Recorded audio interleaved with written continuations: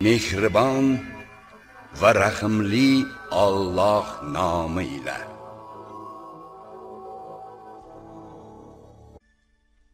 Baqara surasi Madinada nozil qilingan 286 oyatdan iborat.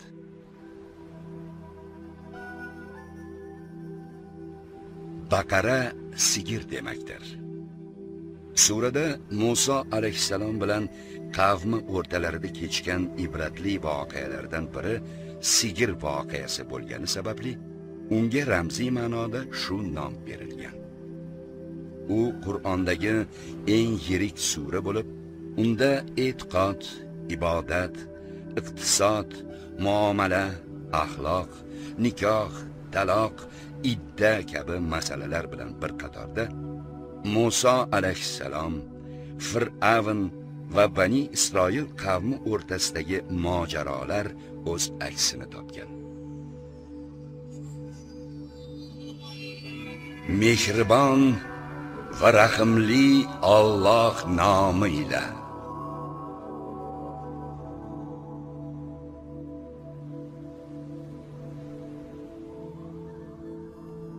Alif Lam Mim. Ushbu kitob shubhadan xoli va taqvodorlar uchun hidoyat manbaidir kim?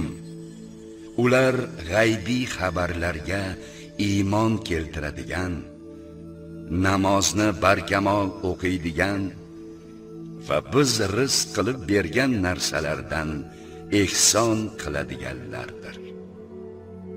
Yana ular sizga va sizdan ilgari o'tgan payg'ambarlarga nozil qilingan narsalarga ilohiy kitob va sahifalarga iymon keltiradigan hamda oxiratga qat'iy ishonadiganlardir. Aynan ular parvardigorlari tomonidan ato etilgan hidoyat uzra barqarordirlar va ana o'shalar oxiratda najot topuvchilardir.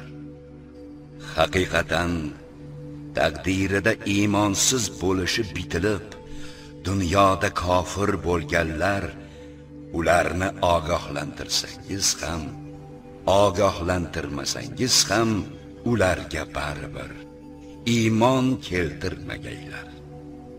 Ularning qalblari va quloqlariga Alloh muhr urib qo'ygan. Ko'zlarida esa parda bor. Ular uchun ulkan azob tayyorlab qo'yilgandir. Odamlar orasida shundaylar ham borki ular biz Allohga va oxiratga iymon keltirdik deydilar. Vaholanki o'zlari mo'min emaslar. Ular Allohni va iymon keltirganlarni aldamoqchi bo'ladilar. Lekin o'zlari sezmagan holda o'zlarinigina aldaydilar. Ularning dillarida illat bor. Alloh ularga shu illatni ziyoda qildi. Yolg'on gapirib yurganlari uchun ularga alamli azob bordir ularga yer yuzida fasod qilmangiz deilsa ular albatta biz chin islohchilarmiz deydilar. Ogoh bo'lingki aynan ularning o'zlari buzg'unchilardir. Lekin buni o'zlari sezmaydilar. Ularga sizlar ham ana u odamlardek iymon keltiringiz deyilsa biz shu nodonlarga o'xshab iymon keltiramizmi deydilar. Ogoh bo'lingki ularning o'zlari nodondirlar lekin buni o'zlari bilmaydilar. Iymon keltirgan kishilarga duch kelib qolganlarida biz ham iymon keltirdik deydilar. O'z shaytonlari boshliqlari bilan holi qolganlarida esa biz albatta sizlar bilan birgamiz. Faqat biz mo'minlarni mazax qiluvchilarmiz xolos deydilar. Alloh ularni mazax qiladi va ularning shu haddan oshganlaricha adashib yurishlariga ma'lum muddatgacha qo'yib beradi. Hidoyat o'rniga zalolatni sotib olganlar o'shalardir. Lekin ularga bu savdolari foyda qilmadi va ular hidoyat yo'liga yuruvchi ham bo'lmadilar ular bamisoli bir olov yoqqan yo'lovchi kimsadirki olov uning atrofini yoritganida Alloh bexosdan olov nurini ketkazib, ularni zulmatlar ichra hech narsani ko'ra olmaydigan holda qoldirgan. Ular ma'nan kar, soqov va ko'rdirlar. Bas ular zinhor hidoyatga qaytmagaylar.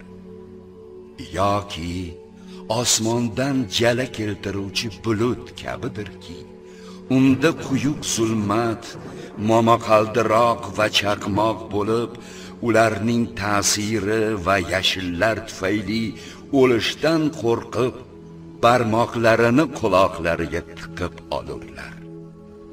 Alloh esa kofirlarni xohlagan paytda har tomonlama qurshab oluvchi. Chaqmoq ularning ko'zlarini ko'r qilgudek darajada bo'lib u har gal yoritganida ozgina yurib oladilar. Qorong'ulikka kirganlarida esa yura olmay turib qoladilar agar Alloh xohlasa edi ularni quloq va ko'zlaridan mahrum qilgan bo'lar edi zero Alloh har narsaga qodir zotdir. Ey insonlar, sizlarni va sizlardan oldingilarni taqvoli bo'lishingiz uchun yaratgan Rabbingizga ibodat qilingiz. U sizlar uchun yerni poyandoz, osmonni bino qilib qo'ydi. va osmondan suv tushirib u sababli sizlarga rizq sifatida mevalar undirdi bas bilib turib Allohga boshqalarni tenglashtirmangiz agar bandamizga Muhammadga tushirgan narsamizdan Qur'ondan shubhada bo'lsangiz bas siz ham unga o'xshash birgina sura yozib keltiring va Allohdan o'zga guvohlaringizni chaqiring. Agar rostgo'y bo'lsangiz bordiyu bu ishni qilmasangiz zinhor qila olmaysiz ham u holda yonilg'isi odamlar va tosh but va sanamlardan iborat kofirlar uchun tayyorlab qo'yilgan do'zaxdan saqlaning iymon keltirib solih amallarni qilganlarga xushxabar beringki ular uchun ostilaridan anhorlar oqib turuvchi bog'lar bordir rizq etilgan mevalardan har gal tanavvul qilganlarida bu ilgari biz yegan mevalarning xuddi o'zi-ku deydilar. Zero ularga bir-biriga o'xshash mevalar berilgan edi. Yana ular uchun u yerda pokiza xotinlar bordir va ular u yerda abadiy qoluvchilardir. Alloh chivin balki undan ham yuqori narsalar haqida zarbul masal aytishdan uyalmaydi iymonli kishilar-ku uni haqiqatan o'zlarining Rabbi tomonidan yuborilgan haq narsa deb biladilar. Kofirlar esa bu masal bilan Alloh nima demoqchi o'zi deydilar. Bu masal bilan Alloh ko'plarni adashtiradi. Va u bilan ko'plarni to'g'ri yo'lga hidoyat qiladi. Lekin Alloh u bilan faqat aslida betafiq bo'lishi muqarrar fosiqlarnigina adashtiradi. Qayski ular Alloh ahdini uning bitimidan keyin buzadigan Alloh bog'lanishiga buyurgan narsalarni uzadigan va yer yuzida buzg'unchilik qiladigan kimsalardir. Ular albatta ziyon ko'ruvchilardir. Ey mushriklar o'lik ekaningizda sizni tiriltirgan so'ngra sizga yana o'lim beradigan keyin sizni tiriltirgach siz huzuriga qaytariladigan Allohni qanday inkor etasiz?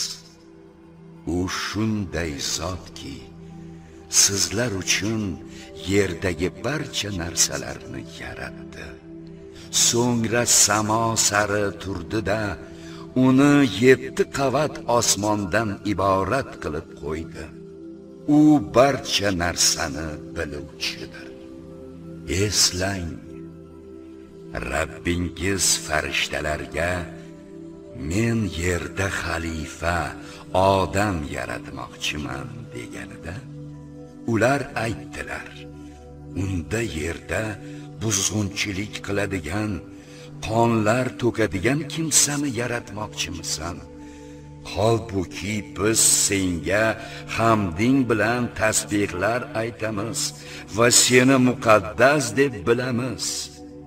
Alloh aytdi albatta. Men sizlar bilmagan narsalarni bilurman. Alloh odamga barcha yaratilgan va yaratilajak narsalarga tegishli nomlarni o'rgatdi. So'ngra ularni farishtalarga birma-bir ko'rsatib dedi agar e'tirozingizda rostgo'y bo'lsangiz ana u narsalarni nomlari bilan menga aytib beringiz. Ular dedilar zoti poking haqqi. Bizda o'zing bildirganingdan o'zga ilm yo'qdir. Albatta sen dono va hakimdirsan. Alloh aytdi ey odam ularga mazkur narsalarni nomlari bilan aytib ber. Ularga nomlarini aytib berganida u dedi men osmonlar va yer sirlarini sizlar oshkor qilayotgan va yashirib yurgan narsalaringizni bilurman demaganmidim.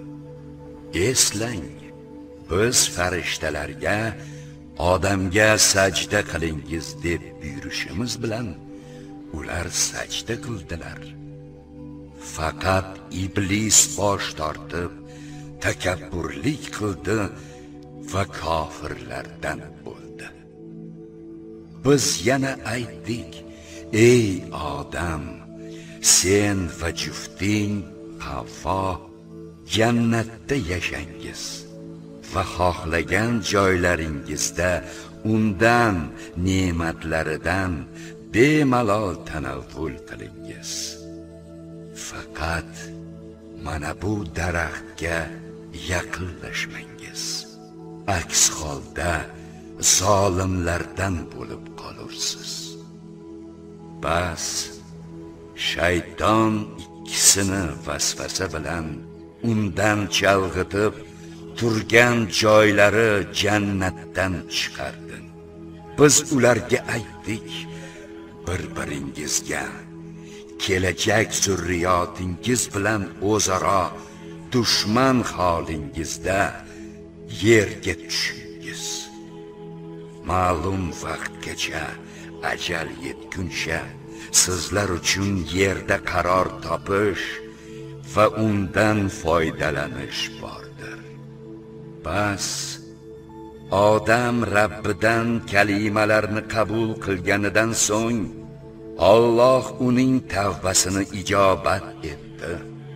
Albatta u tavvob tavbani qabul etuvchi va rahim rahimlidir u yerdan jannatdan hammangiz tushingiz dedik. Emas. Sizlarga mendan hidoyat kelganda hidoyatimga ergashganlarga xavf yo'qdir va ular tashvish ham chekmaydilar. Kofir bo'lgan va oyatlarimizni yolg'onga chiqarganlar aynan o'shalar do'zax ahlidirlar. Ular o'sha yerda abadiy qoluvchilardir ey isroil avlodi sizlarga in'om etgan ne'matimni eslangiz ahdimga vafo qilingiz toki men ham sizlarning ahdingizga vafo qilay va mendangina qo'rqingiz o'zingizdagi narsa Tavrot va Injilni tasdiq etuvchi holda nozil qilgan narsam Qur'onga iymon keltiringiz.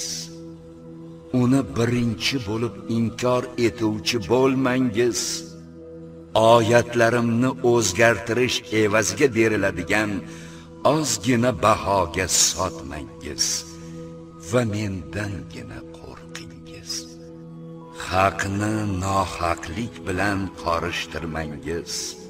Hamda bila turib haqiqatni yashirmangiz. Namozni barkamol o'qingiz. Zakot beringiz va ruku qiluvchilar bilan birga ruku qilingiz. Kitob tavrot va injilni o'qib turib odamlarni yaxshilikka buyurasizu o'zingizni unutasizmi aqlni ishlatmaysizmi Allohdan sabr va namoz ila yordam so'rangiz. darhaqiqat u namoz og'ir ishdir. Illo itoatli, hokisor kishilarga og'ir emas. Ular Rabbilariga oxiratda yuzma-yuz bo'lishlarini va uning huzuriga qaytajaklarini haq deb bilurlar. Ey isroil avlodi sizlarga in'om etgan ne'matimni va sizlarni olamlar uzra afzal qilganimni eslangiz.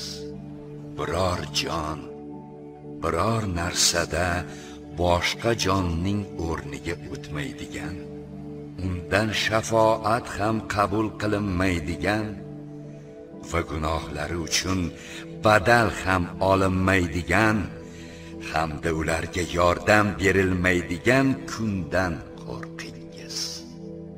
Sizlarni Musa qavmini og'ir azoblar bilan qiynagan qizlaringizni tirik qoldirib o'g'illaringizni qatl etayotgan fir'avn navkarlaridan qutqarganimizni ham eslangiz bunda Rabbingizdan sizlarga ulkan sinov bordir.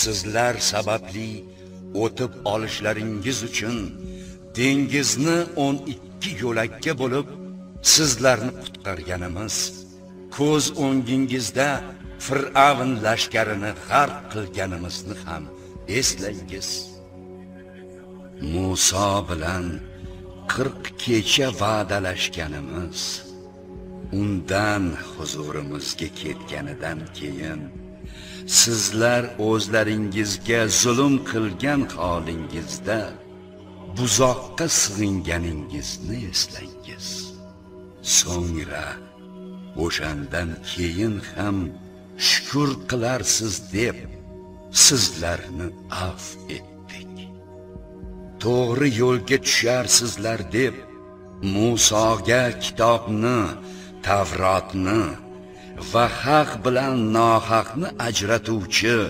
Furqonni berganimizni eslangiz.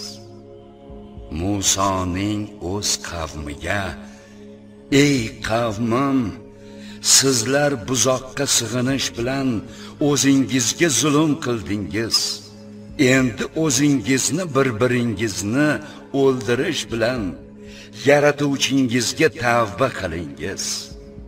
yaratuvchingiz nazdida shu qatl sizlar uchun yaxshiroqdir degan so'zini eslang shunday qilib Alloh tavbangizni qabul etdi albatta. U kechirimli va rahimlidir. Ey Musa Allohni oshkora ko'rmagunimizcha senga hech ham ishonmaymiz deyishingiz bilan ko'z o'ngingizda sizlarni chaqmoq urganini ham eslangiz. So'ngra shukr qilursizlar deb o'lganingizdan keyin yana sizlarni tiriltirdik. Shuningdek ustingizga bulutlarni soyabon qildik. Samoviy noz ne'matlar va pishirilgan bedanalar nozil etib sizlarga rizq sifatida berilgan pok narsalarni yenglar dedik. Ular Isroil avlodi itoatsizliklari bilan bizga zulm qilmadilar balki o'zlarigagina zulm qildilar. Biz sizlarga ushbu qishloqqa Qudsga kiringiz va unda xohlagan joylaringizda lazzatlanib yeb ichingiz. Darvozadan sajda qilgan holingizda kirib Allohga af et deb aytingiz shunda biz xatolaringizni kechiramiz va ezgulik qiluvchilarga ajru savobni ham ziyoda qilurmiz deganimizni eslangiz shunda zolim kimsalar ularga aytilgan so'zni boshqa so'zga almashtirdilar. Bas qilgan bu buzg'unchiliklari tufayli biz zulm qilganlar uzra osmondan balo yog'dirdik eslang ey isroil avlodi! Musa o'z qavmi uchun suv so'raganida asoyini toshga ur dedik. Bas undan 12 chashma otilib chiqdi. 12 urug'dan har bir guruh o'z suvini bilib taqsimlab oldi. Yana Allohning rizqidan yeb ichingiz yer yuzida buzg'unchilik qilmangiz dedik. Yana eslang ey Musa biz bir xil taom yeyishga sabr qila olmayapmiz. Rabbingdan duo qilib so'ra bizga yer o'zidan undirib chiqaradigan bodring sarimsoq moshloviya piyoz kabi sabzavotlardan yetishtirib bersin deganingizda u yaxshi narsani past narsaga almashtirmoqchimisizlar. Biror shaharga tushingiz u yerda sizlar uchun so'ragan narsangiz bor degan edi. Ularga bu noshukurliklari tufayli xorlik va miskinlik bitib qo'yildi. Hamda Allohning g'azabiga uchradilar. Bunga ularning Alloh oyatlarini inkor qilganlari va payg'ambarlarni nohaq qatl etganlari sabab bo'ldi. Yana boshqa sababi esa ularning itoatsizliklari va tajovuzkorliklaridir. Albatta mo'minlar shuningdek yahudiylar nasroniylar va sobiylardan kimki Allohga va oxirat kuniga iymon keltirsa hamda solih amallarni qilsa ularga Rabbilaridan ajr bordir. Ularga xavf yo'qdir va ular tashvish ham chekmaslar. Eslang ey isroil avlodi! Biz ahdu paymoningizni olgan edik va tepangizda tur tog'ini ko'tarib turib sizga keltirgan narsamizni tavrotni mahkam tuting va undagi narsa oyatlarni zikr eting shoyat shunda taqvoli bo'lsangiz degan edik. Keyin o'shandan so'ng vafodan yuz o'girdingiz. Agarda sizlarga Allohning fazli va rahmati bo'lmaganida edi. Albatta ziyon ko'ruvchilardan bo'lib qolar edingiz. Shanba kunida sizlardan tajovuz qilganlarni bildingiz. Biz ularga qadrsiz maymunlarga aylaningiz dedik. Biz buni ulardan oldingi va keyingi davr uchun ibratli jazo taqvoli kishilar uchun esa nasihat manbai qildik. Eslang Musa o'z qavmiga Alloh sizlarni biror sigir so'yishga buyurdi deganida ular bizni istehzoga tutyapsanmi dedilar. Musa dedi johillardan bo'lib qolishimdan meni Alloh asrasin. Ular dedilar Rabbingdan biz uchun duo qilib so'ra bizga u sigir nimaligini bayon qilsin. Musa dedim u aytmoqdaki u qari ham yosh ham bo'lmagan o'rta yoshdagi sigirdir. Bas sizga buyurilgan narsa ishni qilingiz. Ular dedilar Rabbingdan biz uchun duo qilib so'ra bizga uning rangini bayon qilsin. Musa dedi u aytmoqdaki u yarqiroq sarg'ish rangli sigir bo'lib ko'rganlarni quvontirur. Ular dedilar Rabbingdan biz uchun duo qilib so'ra uning qanaqaligini bayon qilsin. Zero bizga sigirlar bir-biriga o'xshash tuyuldi. Xudo xohlasa biz albatta to'g'ri yo'lni topuvchilarmiz. Musa aytdi u aytmoqdaki u shunday sigirki yer haydashga ham ekinlarni sug'orishga ham o'rgatilmagan. Nuqsonsiz unda sarg'ish rangidan boshqa rang yo'q.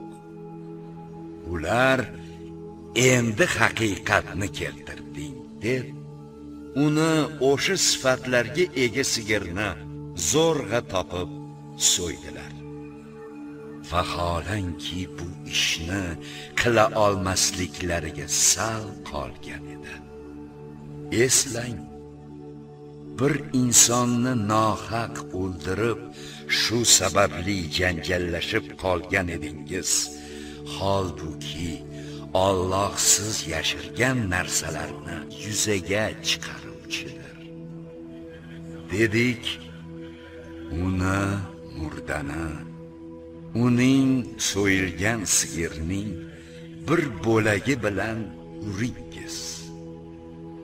Alloh o'liklarni xuddi shu kabi osongina tiriltiradi. Va aql ishlatishingiz fikr yuritishingiz uchun sizlarga bu dunyoda o'z alomatlarini ko'rsatadi. So'ngra shundan mo'jizalarni ko'rgandan keyin ham dillaringiz qotdi. Bas ular ba'zi dillar tosh kabidir balki undan ham qattiqroqdir. Zero shunday tosh ham borki undan anhorlar otilib chiqadi.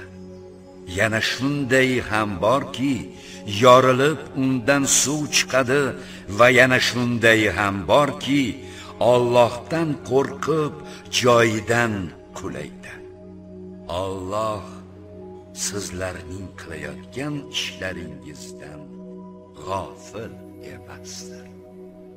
Ular isroil avlodining sizlarga ishonishidan umid qilyapsizmi ey musulmonlar? Vaholanki ulardan bir guruhi Allohning kalomini eshitib anglab olganlaridan so'ng bila turib uni o'zgartirar edilar-ku. Ular yana iymonli kishilar bilan uchrashganlarida iymon keltirdik deyishar. O'zlari xoli qolganlarida esa bir birlarini koyib Rabbingiz huzurida sizlar bilan bahslashishlari uchun ularga musulmonlarga Alloh sizlarga ochgan Tavrotda bildirgan narsa Muhammad haqidagi bashorat to'g'risida gapiryapsizmi? Aqlni ishlatmaysizmi? deyshar edi. Alloh ularning yashirgan va oshkora qilgan narsalarini bilib turuvchi zot ekanini bilmaydilarmi? Ularning ichida yozuvni bilmaydigan faqat hayolot bilan gumonsirabgina yuradigan omilari ham bor albatta ammo o'z qo'llari bilan yozuvni bitib so'ngra uni arzimagan bahoga sotish uchun bu kitob Alloh huzuridandir deydigan kimsalarning holiga voy bas o'z qo'llari bilan yozganlari ham topgan foydalari ham o'zlariga falokat bo'lur. Ular yahudiylar deydilar bizlarga do'zax o'ti sanoqli oz kunlardagina tegar. Ularga ayting Alloh huzurida shunga ahd qabul qilganmisizki Alloh ahdiga xilof qilmasa yoki Alloh nomidan bilmagan narsalaringizni gapirayapsizmi? Yo'q, aslo. Kimki yomonlik kasb etsa va gunohlari uni o'rab olgan bo'lsa, bas.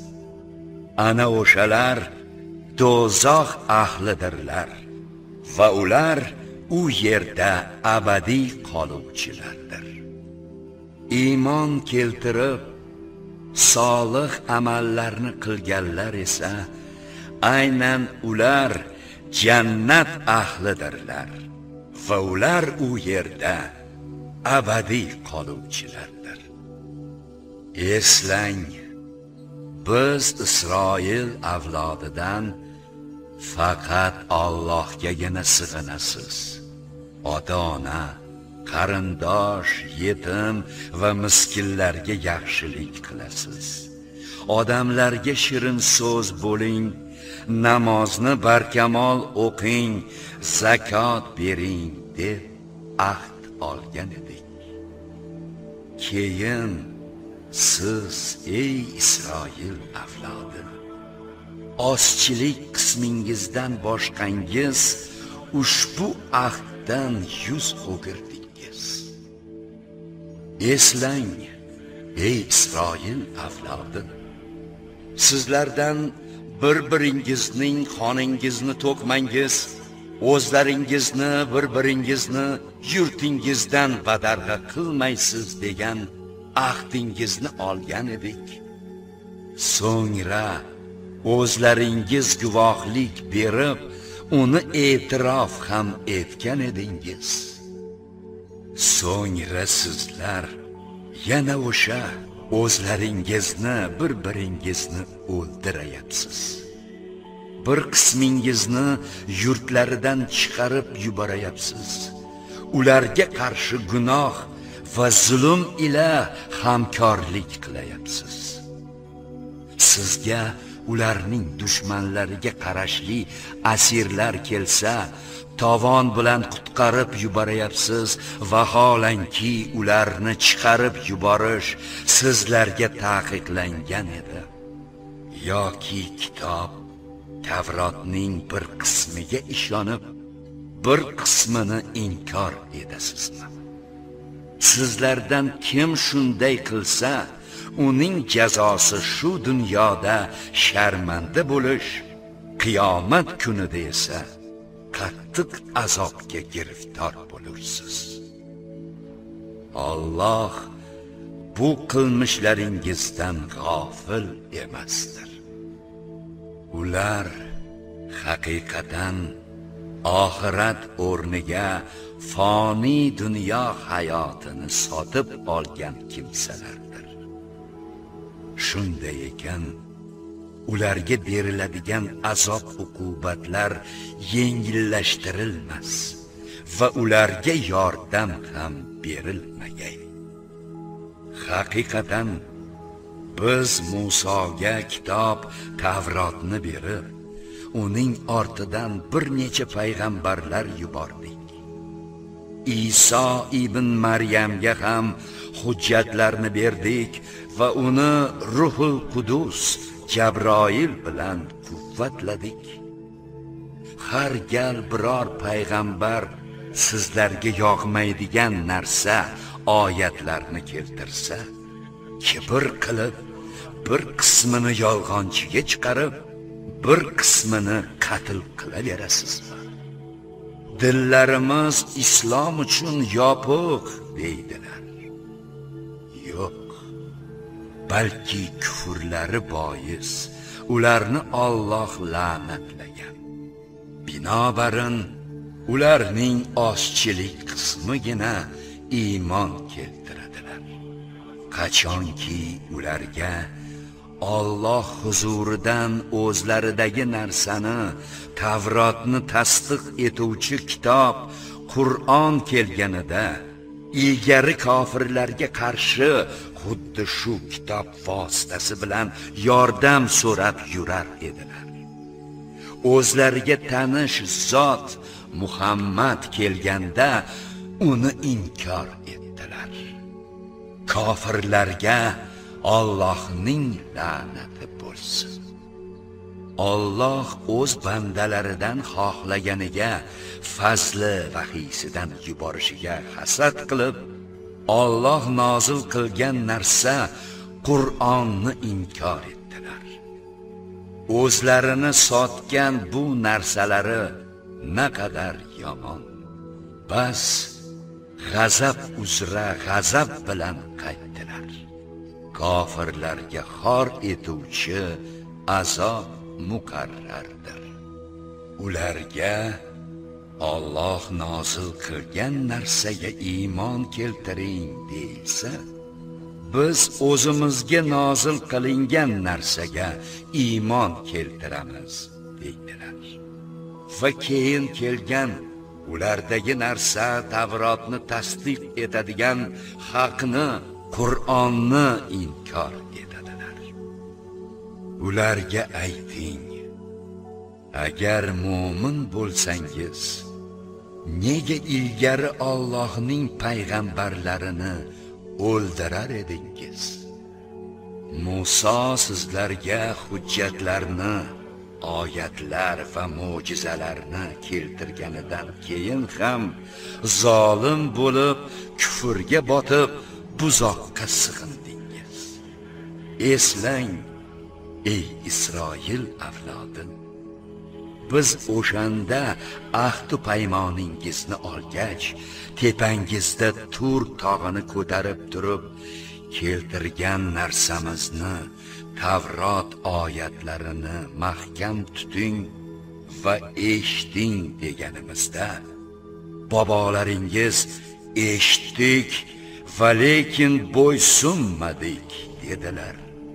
Kufrlari tufayli dillari buzoqqa sig'inish havasi bilan sug'orilgan edi.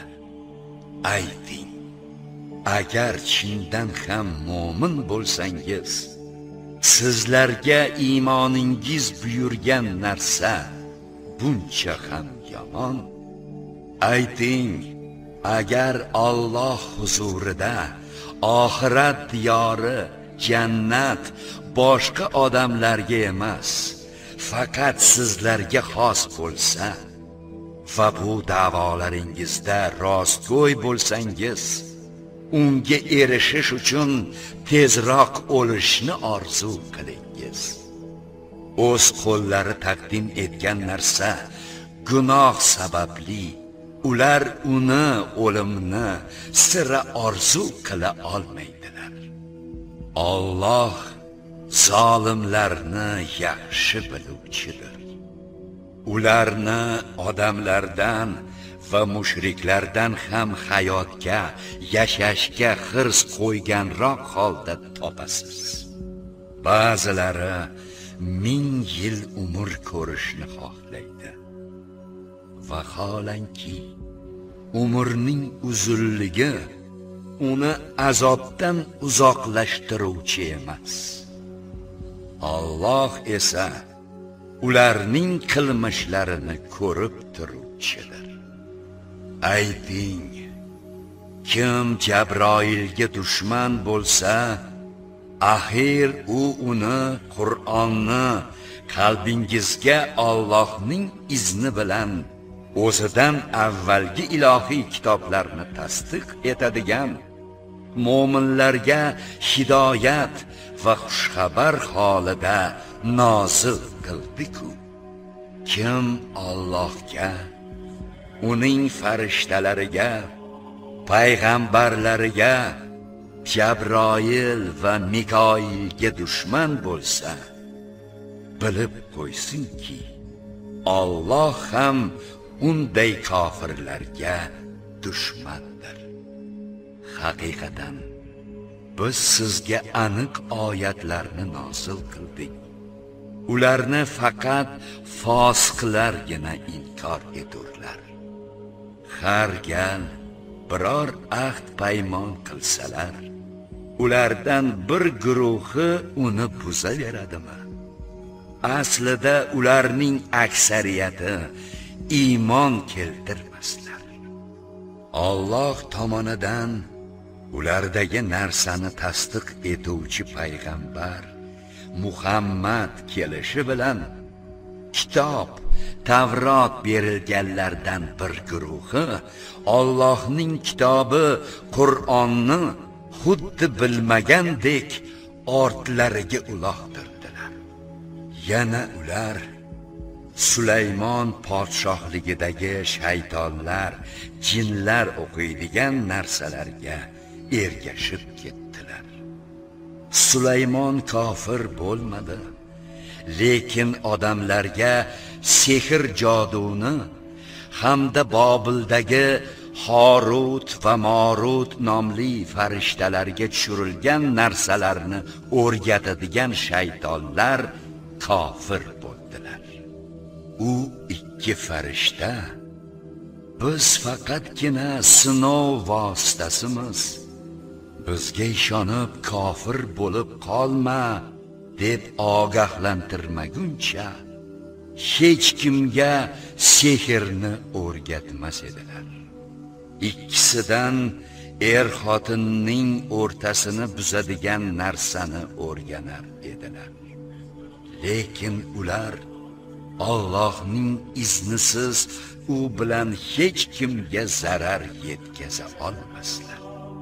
Xullas o'zlariga foydasi yo'q balki zararli narsalarni ta'lim olar edilar. Uni Alloh kitobini sehrga almashganlarga oxiratda nasiba yo'qligini ham yaxshi bilar edilar. O'z nasibalarini qanchalik yomon narsaga sotib yuborganlarini bilsalar edi. Agarda ular iymon keltirib taqvo yo'lini tutganlarida Alloh tarafidan beriladigan savob ular uchun yaxshiroq edi. Ey iymon keltirganlar!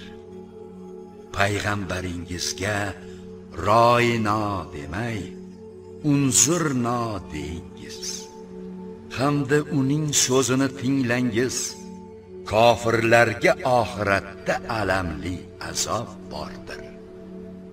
Ahli kitoblarning yahudiy va nasroniylarning kofirlari va mushriklar sizlarga Rabbingiz tarafidan biror yaxshilik vahiy tushishini aslo yoqtirmaydilar. Alloh esa rahmatiga o'zi xohlagan kishini xos etadi. Alloh buyuk fazl sohibidir. Ey Muhammad biror oyatni bekor qilsak yoki yodingizdan chiqartirsak undan yaxshirog'ini ummatingizga munosibrog'ini yoki o'shaning aynan o'ziga teng boshqa oyatni keltiraveramiz.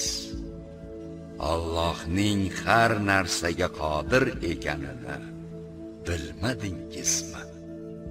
Osmonlar va yerning hukmronligi Allohga xos ekani va sizlar uchun Allohdan boshqa biror do'st yoki yordamchi yo'q ekanini bilmas edingizmi yoki ey Makka ahli ilgari Musodan so'ralganidek payg'ambaringizdan ham so'rashni xohlaysizmi?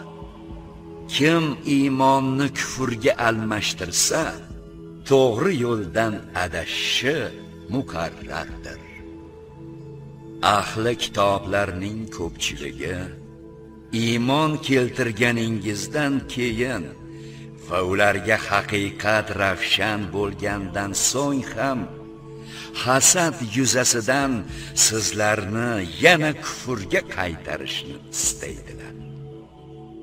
Bas Alloh o'z amrini keltirguncha ularni af etib xatolaridan o'ting.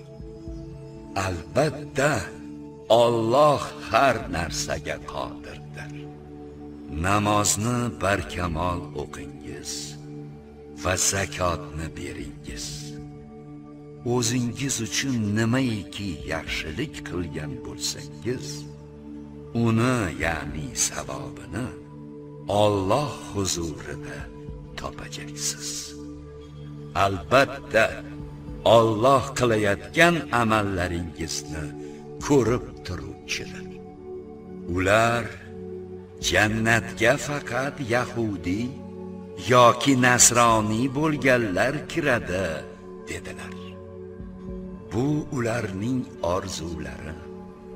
Ayting ularga agar rostgo'y bo'lsangiz dalilingizni keltiring. Yo'q kimki yuzini o'zini Allohga bo'ysundirsa Rabbi huzurida unga ajr ularga oxiratda xavf yo'q va ular biror narsa uchun tashvish ham chekmaydilar. Yahudiylar nasroniylar hech narsada yo'q desalar nasroniylar yahudiylar hech narsada yo'q dedilar. Vaholanki ular har ikki toifa kitob o'qiydigan savodxon edilar. Shuningdek o'qishni bilmaydiganlar boshqa soxta dinlarga mansub kimsalar ham ularning gapiga o'xshash gapni aytdilar. Ularning bu kabi kelisha olmagan narsalari yuzasidan qiyomat kuni Alloh hukm qilur. Allohning masjidlarida uning nomi zikr etilishiga qarshilik qiladigan va ularni xarob qilishga urinadiganlardan kim ham zolimroqdir axir bu kabi kimsalar uchun u yerlarga Ka'ba yoki Baytul Maqdisga faqat qo'rqqan hollaridagina kirishlari mumkin edi. Ular uchun bu dunyoda sharmisorlik, oxiratda esa buyuk azob bordir. Mashriq ham, mag'rib ham Allohnikidir. Bas qaysi tarafga yuzingizni qaratsangiz o'sha tomonda Allohning yuzi mavjuddir albatta Alloh fazli keng dono zotdir. Allohning farzandi bor dedilar. U Alloh esa ularning iddaosidan pok zotdir. Balki osmonlar va yerdagi narsalar uning mulkidir. Hammasi unga bo'ysunuvchidir u yer va osmonlarning yaratuvchisidir biror ishni qiladigan bo'lsa faqatgina unga bo'l desa bas u bo'ladi bilmaydigan nodon kimsalar Alloh bizga bevosita gapirsa edi yoki biror alomat kelsa edi deydilar. Ulardan oldingilari ham ularning gaplariga o'xshash gaplarni aytgan edilar. Dillarida o'xshashlik bor. Biz chinakam ishonadigan kishilar uchun oyatlarni bayon albatta biz sizni haq bilan Qur'on, tavhid, islom bilan xushxabar beruvchi va ogohlantiruvchi qilib yubordik. Do'zax ahli haqida siz so'roqqa tutilmaysiz. Yahudi va nasroniylar to ularning dillariga kirmaguningizcha sizdan sira rozi bo'lmaydilar ayting to'g'ri yo'l bu Allohning yo'lidir qasamki agar sizga kelgan to'g'ri ma'lumotlardan keyin ham ularning xohishlariga ergashsangiz Alloh tarafidan sizga biror do'st ham, yordam beruvchi ham bo'lmagan. Biz kitob, Tavrot, Injil yoki Qur'on bergan kishilar, mu'minlar uni to'g'ri buzmay tilovat qiladilar. Ular unga, Muhammadga va kitobga iymon keltiradilar.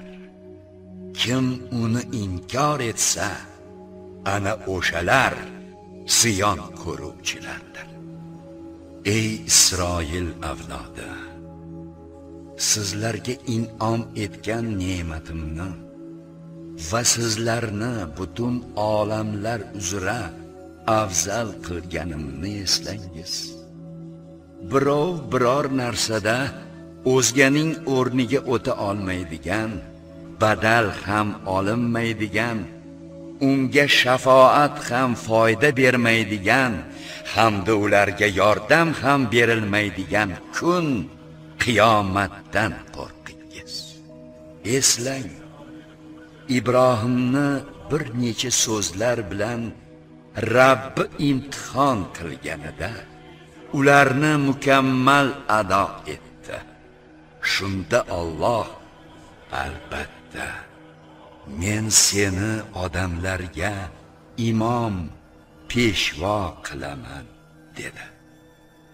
Ibrohim zurriyotimdan hammi? deb so'radi. Alloh aytdi mening ahdim zolimlarga tegishli emas. Eslang baytni ka'bani odamlar uchun ziyoratgoh va xavfsiz joy qilib qo'ydik. Ibrohim maqomini namozgoh qilib olingiz. Ibrohim bilan ismoilga tavof e'tikof va ruku sujud qiluvchilar uchun baytimni poklangiz deb buyurdik.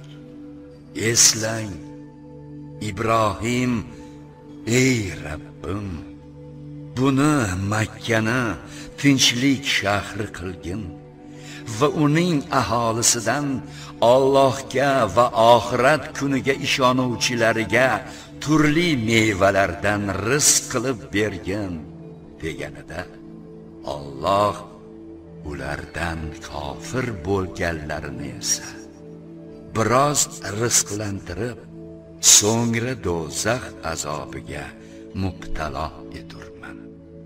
Bu o'ta yomon oqibatdir dedi eslang ibrohim o'z o'g'li ismoil bilan birgalikda uyning Ka'baning poydevorini ko'targanlarida shunday duo qildilar. Ey Rabbimiz bizdan ushbu ishimizni qabul et. Albatta sen eshituvchi va donodirsan ey Rabbimiz ikkimizni o'zingga bo'ysunuvchi et va zurriyotimizdan ham senga itoat qiladigan ummat chiqargin. Yana bizga hajga doir ibodatlarimizni ko'rsatib ber va tavbalarimizni qabul et. Albatta sen tavvob tavbani qabul etuvchi va rahmlidirsan ey Rabbimiz! Ularga kelajak ummatlarga o'zlaridan chiqqan ularga oyatlaringni tilovat qilib beradigan kitob va hikmat Qur'on va hadisni o'rgatadigan va ularni kufr va gunohlardan poklaydigan bir payg'ambarni yuborgin. Albatta sen aziz qudratli va hakim hikmat sohibidirsan.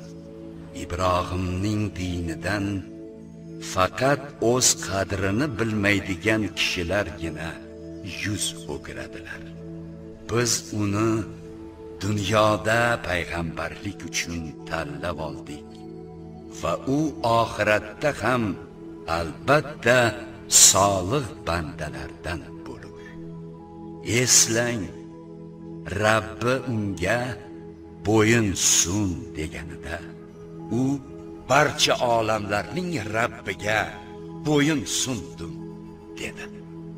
Ibrohim o'z o'g'illariga shuningdek nabirasi yaqub ham shu dinni vasiyat qilib dedilar.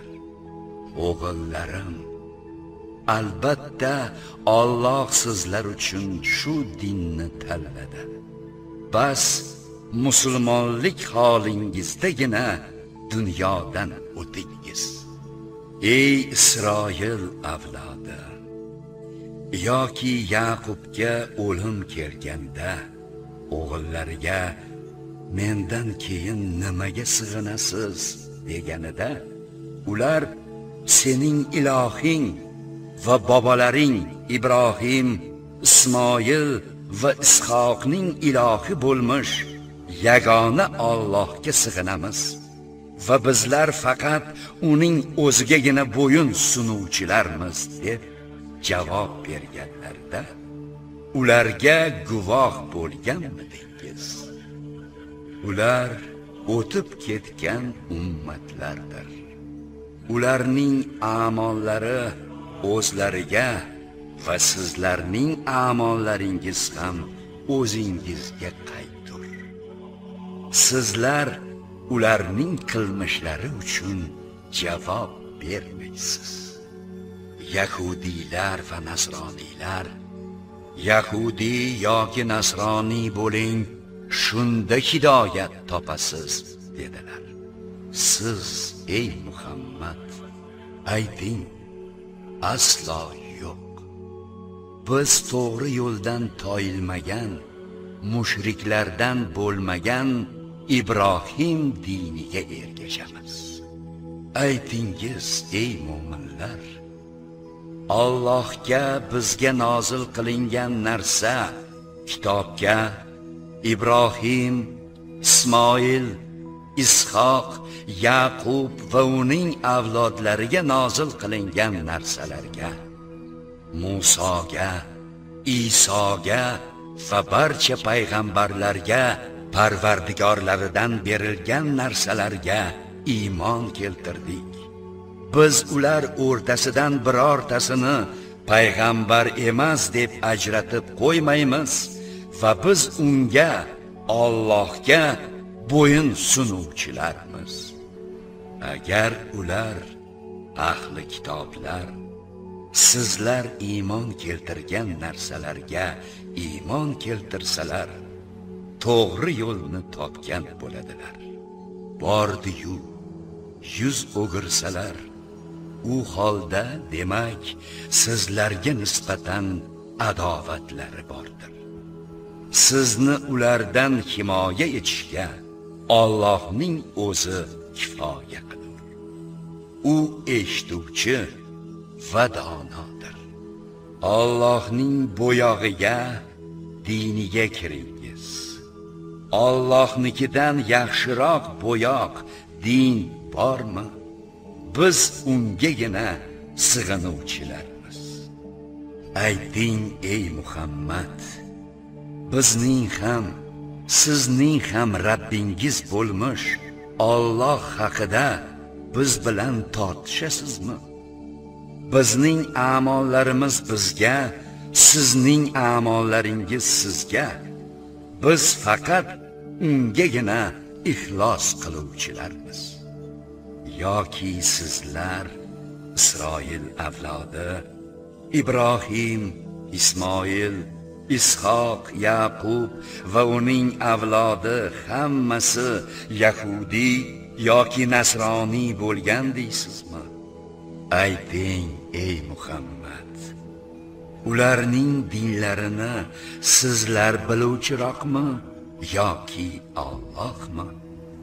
Guvohlikni Allohdan yashirgan kimsadan kim ham zolimroqdir? Alloh qilayotgan ishlaringizdan noto'g'ri guvohlik berishingizdan g'ofil emasdir. Ular o'tib ketgan ummatlardir. Ularning a'mollari o'zlariga va sizlarning a'mollaringiz ham o'zingizga qaytur sizlar ularning qilmishlari uchun javob bermaysiz. Odamlarning nodonlari ular musulmonlar ilgari yuzlangan qiblalaridan voz kechishlariga bois nima ekan deyishadi. Ayting mashriq ham mag'rib ham Allohnikidir. U o'zi xohlagan kishilarni to'g'ri yo'lga boshlaydi. Shuningdek sizlarni musulmonlarni boshqa odamlarga ummatlarga guvoh bo'lishingiz va payg'ambarning sizlarga guvoh bo'lishi uchun o'rta ummat qilib qo'ydik. Siz yuzlangan oldingi qiblani biz faqat orqaga qaytib ketayotganlar ichida kim payg'ambarga ergashar ekan deb qildik qayta tikladik. Albatta bu o'z qiblasini o'zgartirish Alloh hidoyat etgan kishilardan o'zgalar uchun og'ir ishdir. Alloh iymonlaringizni Baytul Maqdisga qarab o'qigan oldingi namozlaringiz ajrini zoye ketkizmas. Albatta, Alloh odamlarga nisbatan mehribon va rahimlidir. Goho yuzingizni vahiy kutib osmon bo'ylab o'girib turishingizni ko'ryapmiz. Xotirjam bo'ling. Sizni o'zingiz rozi bo'ladigan qiblaga, Ka'baga yuzingizni o'girtiramiz. Yuzingizni Masjidi Harom, Ka'ba tomonga buring. Ey mo'minlar, sizlar ham qayerda bo'lsangiz, yuzlaringizni o'sha tarafga buringiz. Ahli kitoblar buni parvardigorlari tomonidan kelgan haqiqat ilohiy farmon ekanini yaxshi biladilar. Alloh ularning qilmishlaridan g'ofil emasdir. Qasamki, agar siz ahli kitoblarga har qanday hujjat keltirsangiz ham ular qiblangizga ergashmaydilar. Siz ham ularning qiblasiga ergashuvchi emassiz. Ular yahudiylar va nasroniylar bir-birlarining qiblalariga tobe emaslar. Bordiyu sizga kelgan ilmdan, vahiydan keyin ham ularning xohishlariga ergashib ketsangiz, u holda albatta siz zolimlardandirsiz. Biz kitob bergan o'sha zolim kimsalar uni Muhammadni xuddi o'z farzandlarini tanigandek taniydilar. Va ulardan bir guruhi bila turib kitoblaridagi haqiqatni sir tutadilar. Haqiqat bu Rabbingizdan kelgan xabardir. Bas siz shubhalanuvchilardan bo'lmang. Har bir dindor uchun o'zi yuzlanadigan tarafi qiblasi bor. Bas xayrli ishlarda o'zib ketingiz. Qayerda bo'lmangiz Alloh hammangizni mahshargohga keltirajak. Albatta Alloh har narsaga qodirdir.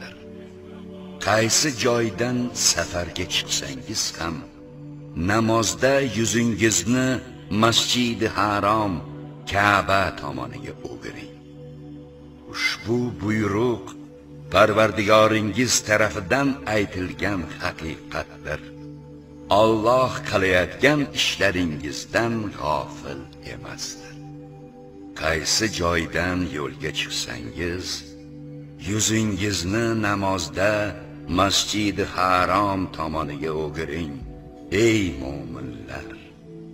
qayerda bo'lsangiz yuzlaringizni o'sha Ka'ba tomonga o'giringiz toki g'arazli odamlarda sizlarga qarshi hujjat bo'lmasin magar ular ichida zolimlari ham borki sizlar ulardan qo'rqmangiz balki mendan bu sizlarga ne'matlarimni yanada mukammal qilib berishim va hidoyat yo'lini topib olishlaringiz uchundir.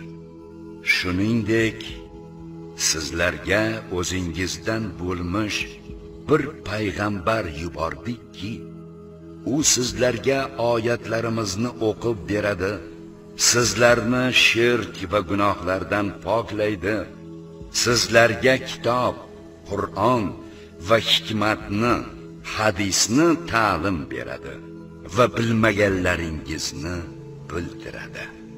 Bas meni yod edingiz. Men ham sizlarni yod eturman. menga shukr qilingiz noshukurchilik qilmangiz ey iymon keltirganlar sabr va namoz bilan mendan yordam so'rangiz.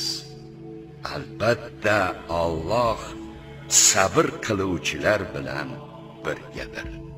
Alloh yo'lida qatl etiluvchilar shahidlar haqida ular o'likdirlar demangiz. Yo'q ular tirikdirlar lekin sizlar buni sezmaysiz. Sizlarni biroz xavf xatar ochlik azobi bilan molu jon va mevalar hosilini kamaytirish yo'li bilan sinagaymiz. Shunday holatlarda sabr qiluvchilarga xushxabar bering ey muhammad. Ularga musibat yetganda. Albatta biz Allohning ixtiyoridamiz. Va albatta biz uning huzuriga qaytuvchilarmiz deydilar. Aynan o'shalarga parvardigorlari tomonidan salovat mag'firat va rahmat bordir va aynan ular hidoyat topuvchilardir. Albatta safo va marva tepaliklari Allohning shiorlaridandir. Bas kim haj yoki umra qilganida u ikkisini tavof etsa unga gunoh yo'qdir. O'z ixtiyori bilan biror xayrli ish nafl haj yoki umra qilsa albatta Alloh shukrini qabul etuvchi dono zotdir. Biz nozil qilgan oyatlar va hidoyatdan iborat narsalarni Muhammadning barhaq payg'ambar ekanini odamlarga kitob Tavrotda aniq qilib berganimizdan keyin uni yashirganlarni shubhasiz Alloh la'natlagay. Va ularni la'natlovchilar farishtalar va mu'minlar ham la'natlagaylar. Illo qaysilari tavba qilib xatolarini tuzatib haqiqatni bayon qilsalar ularning tavbalarini qabul eturman. Men tavvob tavbalarini qabul etuvchi va rahimlidirman kufrda bo'lib kofirlik holida o'lib ketganlarga barchaning Alloh farishtalar va odamlarning la'natlari bo'lgay. U yerda do'zaxda abadiy qolurlar. Ulardan azob yengillashtirilmas va ular jazo vaqtidan kechiktirilmaslar ham. Ilohingiz yagona ilohdir. Undan o'zga iloh yo'qdir. U mehribon va rahimlidir albatta osmonlar va yerning yaratilishida kecha va kunduzning almashib turishida odamlar uchun foydali narsalar ortilgan kemalarning dengizda suzishida Alloh osmondan tushirib u sababli o'lik yerni tiriltirgan suvda turli jonzotlarni unda yerda tarqatib qo'yishida shamollarni turli tomonga yo'naltirishida va osmon bilan yer orasidagi bo'yin sundirilgan bulutda aqlni ishlatadigan kishilar uchun alomatlar bordir. Odamlar orasida Allohdan o'zga narsani unga teng bilib ularni Allohni sevgandek sevadigan kimsalar ham bordir. Iymon keltirganlarning Allohga bo'lgan sevgilari esa ularnikidan kuchliroqdir. Qiyomat kuni zolimlar azobni ko'rgan paytlarida butun kuch qudrat Allohga xosligi va Allohning azobi qattiq ekanini bilganlarida edi. O'sha kuni azobni ko'rib peshvolar o'z ergashuvchilaridan tonadilar. Va ularni birlashtirib turuvchi aloqalar uziladi. Ergashganlar qani edi bir bor dunyoga qaytish mumkin bo'lsa-yu ular bizdan tonganlaridek biz ham ulardan tonsak deydilar. Shunday qilib Alloh taolo ularning qilmishlarini o'zlariga hasrat uzra hasrat qilib ko'rsatadi. Ular do'zaxdan chiquvchi emaslar. Ey odamlar yerdagi halol pok narsalardan tanavvul qilingiz va shaytonning islaridan ergashmangiz. Albatta u sizlarga aniq dushmandir. U sizlarni faqatgina yomonlik va buzuqlikka va Alloh sha'niga o'zingiz bilmagan narsalarni gapirishingizga buyuradi. Ularga mushriklarga Alloh nozil etgan narsaga ergashingiz deilsa, ular yo'q. Biz ota bobolarimizni ne uzg'a topgan bo'lsak o'shanga ergashamiz deydilar. Ota bobolari bordi-yu, hech narsaga aqllari yetmaydigan va to'g'ri yo'ldan yurmaydigan bo'lgan esalarchi haqiqatan ham kofir bo'lgan kimsalar vahiydan ta'sirlanmaslikda xuddi hayvonlarga qichqirayotgan kishining ovozidan va hayqirig'idan o'zga narsani eshitmayotgani kabidir. Ular ma'nan kar soqov va ko'rlardirki gapni anglamaydilar. Ey iymon keltirganlar! Allohgagina ibodat qiluvchi bo'lsangiz sizlarga biz rizq qilib bergan pokiza narsalardan yeb unga shukr qilingiz. U sizlarga o'lim tik qon cho'chqa go'shti va Allohdan o'zgaga atab so'yilgan narsalarni harom qildi. Ammo zulmkor va tajovuzkor bo'lmagan holda zaruratan majbur bo'lsa unga gunoh yo'qdir.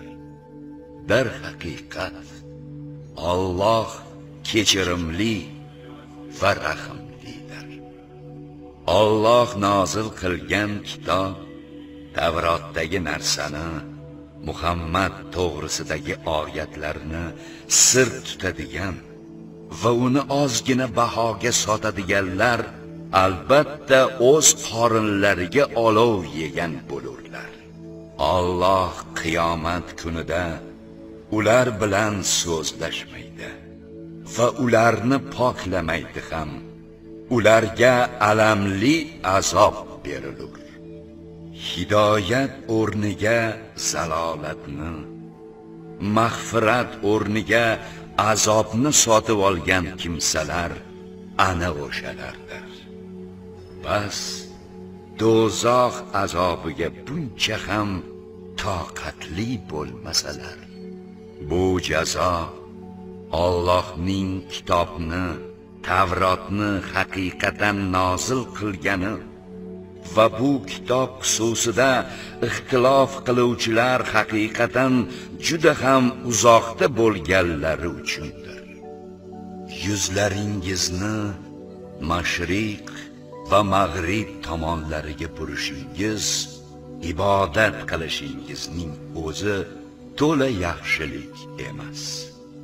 Balki Allohga oxirat kuniga farishtalarga kitoblarga payg'ambarlarga iymon keltirgan o'zi yaxshi ko'rgan molidan qarindoshlariga yetimlarga miskinlarga yo'lovchiga tilanchilarga va qullarni ozod qilish yo'lida beradigan namozni to'kis ado etib zakotni to'lab yuradigan kishi va kelishilgan ahdlariga vafo qiluvchilar shuningdek og'ir yengil kunlarda va jang paytida sabr qiluvchilar yaxshilik ahlidir.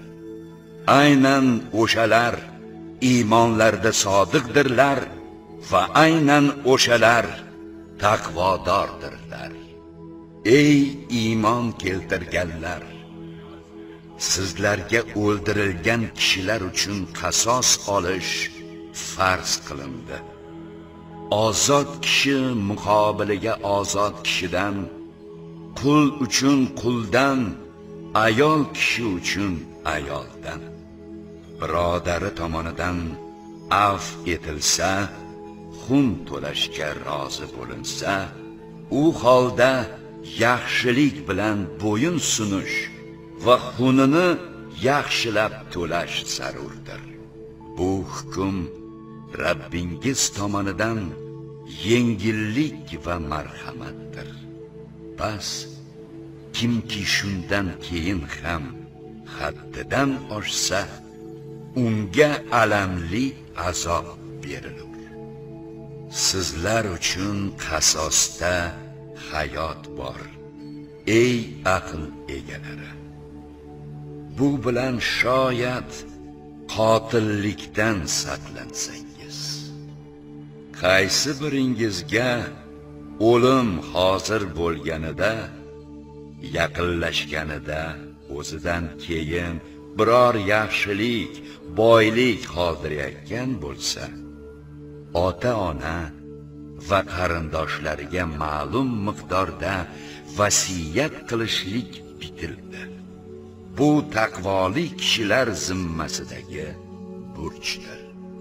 Kimki uni vasiyatni eshitganidan keyin o'zgartirsa gunohi faqat o'zgartirganlarga bo'lur. Albatta Alloh eshituvchi va dono zotdir. Ammo kimki vasiyat qiluvchi tomonidan biror xatolik yoki gunoh sodir bo'lishidan qo'rqib vasiyatni o'zgartirib bo'lsa ham oralarini isloh qilib qo'ysa unga gunoh yo'qdir.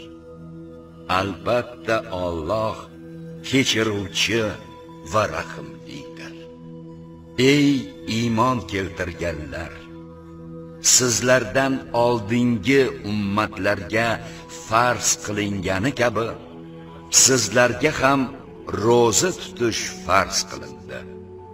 Shoyat u sababli taqvoli bo'lsangiz sanoqli kunlarda ba'z sizlardan kimki bemor yoki safarda bo'lsa sanog'i boshqa kunlardandir.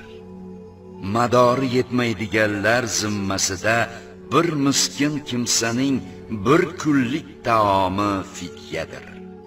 Kimki ixtiyoriy ravishda ziyoda xayr qilsa lozim bo'lganidan ortiq fidya bersa o'ziga yaxshi agar bilsangiz ro'za tutishingiz fidya berib tutmaganingizdan yaxshiroqdir. Ramazon oyi odamlar uchun hidoyat manbai va to'g'ri yo'l hamda ajrim etuvchi hujjatlardan iborat Qur'on nozil qilingan oydir. Bas sizlardan kim bu oyda o'z yashash joyida hozir bo'lsa ro'zasini tutsin. Kimki bemor yoki safarda bo'lsa tuta olmagan kunlarining sanog'i boshqa kunlardandir. Alloh sizlarga yengillikni istaydi og'irlikni xohlamaydi. Bu hisobni to'ldirishingiz hamda hidoyatga boshlagani uchun Allohga takbir aytishingiz va shukr qilishingiz uchundir. Sizdan ey muhammad bandalarim mening haqimda so'rasalar ayting. Men ularga yaqinman. Menga iltijo qiluvchining duosini ijobat eturman. Bas ular ham meni da'vatlarimni ijobat etib menga iymon keltirsinlar. Shoyat to'g'ri yo'lga tushib ketsalar. Sizlarga ro'za kechasida xotinlaringiz bilan qovushish halol qilindi. Ular sizlar uchun libos. Sizlar ular uchun libosdirsiz. Sizlarning o'zingizga xiyonat qilayotganingizni Alloh bildi va tavbangizni qabul qilib sizlarni afv etdi. Endi ular bilan ro'za kechalarida bemalol qovushib sizlar uchun Alloh yozgan narsani umid etaveringiz. Shuningdek tonggacha ya'ni oq ipning qora ipdan ajraladigan vaqtigacha yeb ichaveringiz. So'ngra ro'zani kechgacha quyosh botguncha mukammal tutingiz masjidlarda e'tikofda bo'lgan paytlaringizda kechalari ham ular xotinlar bilan qo'shilmangiz. Bular Allohning chegaralaridir. Bas ularga yaqinlashmangiz. Odamlar saqlanishlari uchun Alloh o'z oyatlarini mana shunday aniq bayon qiladi. Mol va boyliklaringizni o'rtalaringizda botil yo'llar bilan yemangiz shuningdek bila turib odamlarning haqlaridan bir qismini gunoh yo'li bilan yeyish maqsadida uni hokimlarga havola etmangiz sizdan ey muhammad! Hilollar yangi oylar haqida so'raydilar. Ular odamlarga yil hisobi va haj uchun vaqt o'lchovlaridir deb ayting. Uylarga orqa tomondan kirishingiz yaxshilik emas balki yaxshilik taqvo qilgan odamning yaxshiligidir. Uylarga ularning eshiklaridan kiringiz va Allohdan qo'rqingiz shoyat najot topsangiz. Sizlarga qarshi jang qiluvchilar bilan Alloh yo'lida jang qilingiz lekin jang asnosida ham haddan oshmangiz zero Alloh haddan oshuvchilarni yoqtirmagan ularni makka mushriklarini qayerda topsangiz o'ldiringiz va sizlarni chiqargan joydan makkadan ularni chiqaringiz. Fitna qotillikdan ham ashaddiyroqdir ular birinchi bo'lib boshlamaguncha masjidi haromda ular bilan urushmangiz. Agar urushni boshlasalar u holda ularni o'ldiringiz kofirlarning jazosi shundaydir. Agar shirk va tajovuzkorlikdan qaytsalar bas albatta Alloh kechiruvchi va rahimlidir.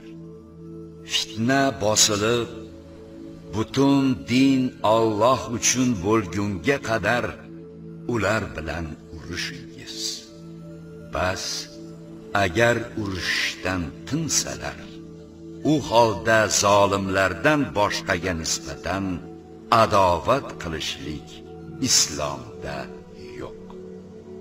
Urush man etilgan oy urush man etilgan oy bilandir.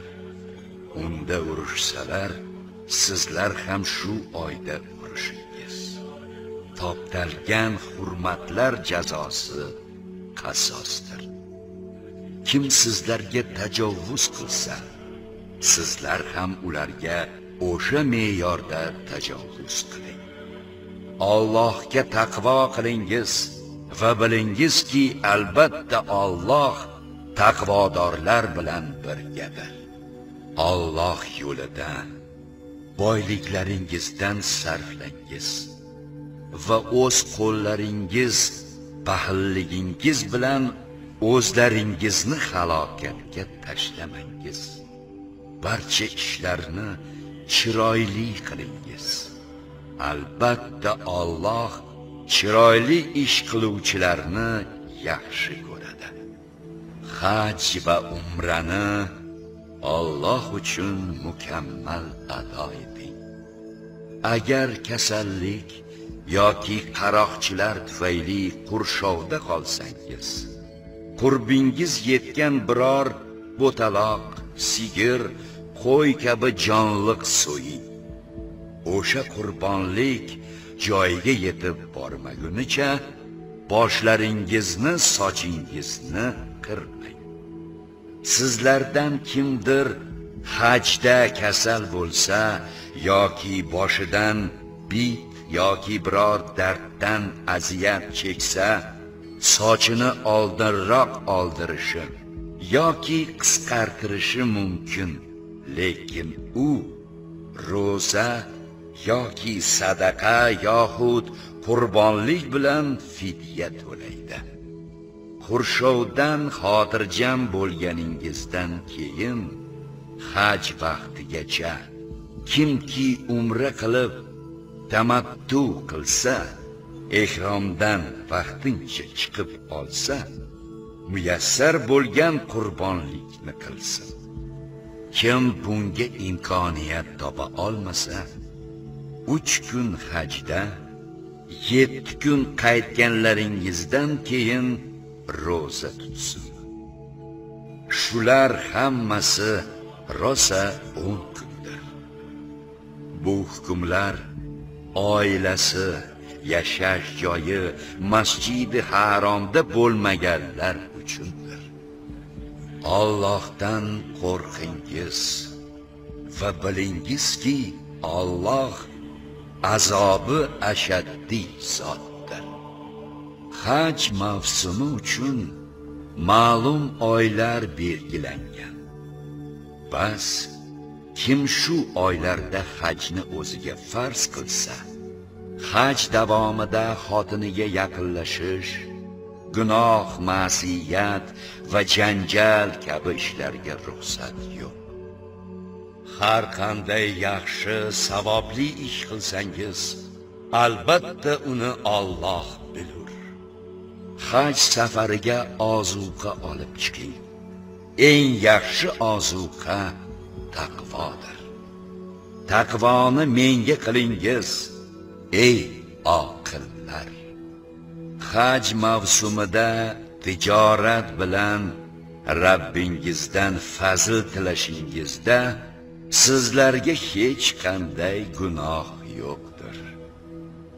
Arofotdan tushganingizda mash'ari haromda muzdalifada Allohni talbiya tahlil takbir sano bilan zikr eding u sizlarni garchi ilgari adashganlardan bo'lsangizda haq yo'lga hidoyat qilgani kabi sizlar ham uni yod edingiz.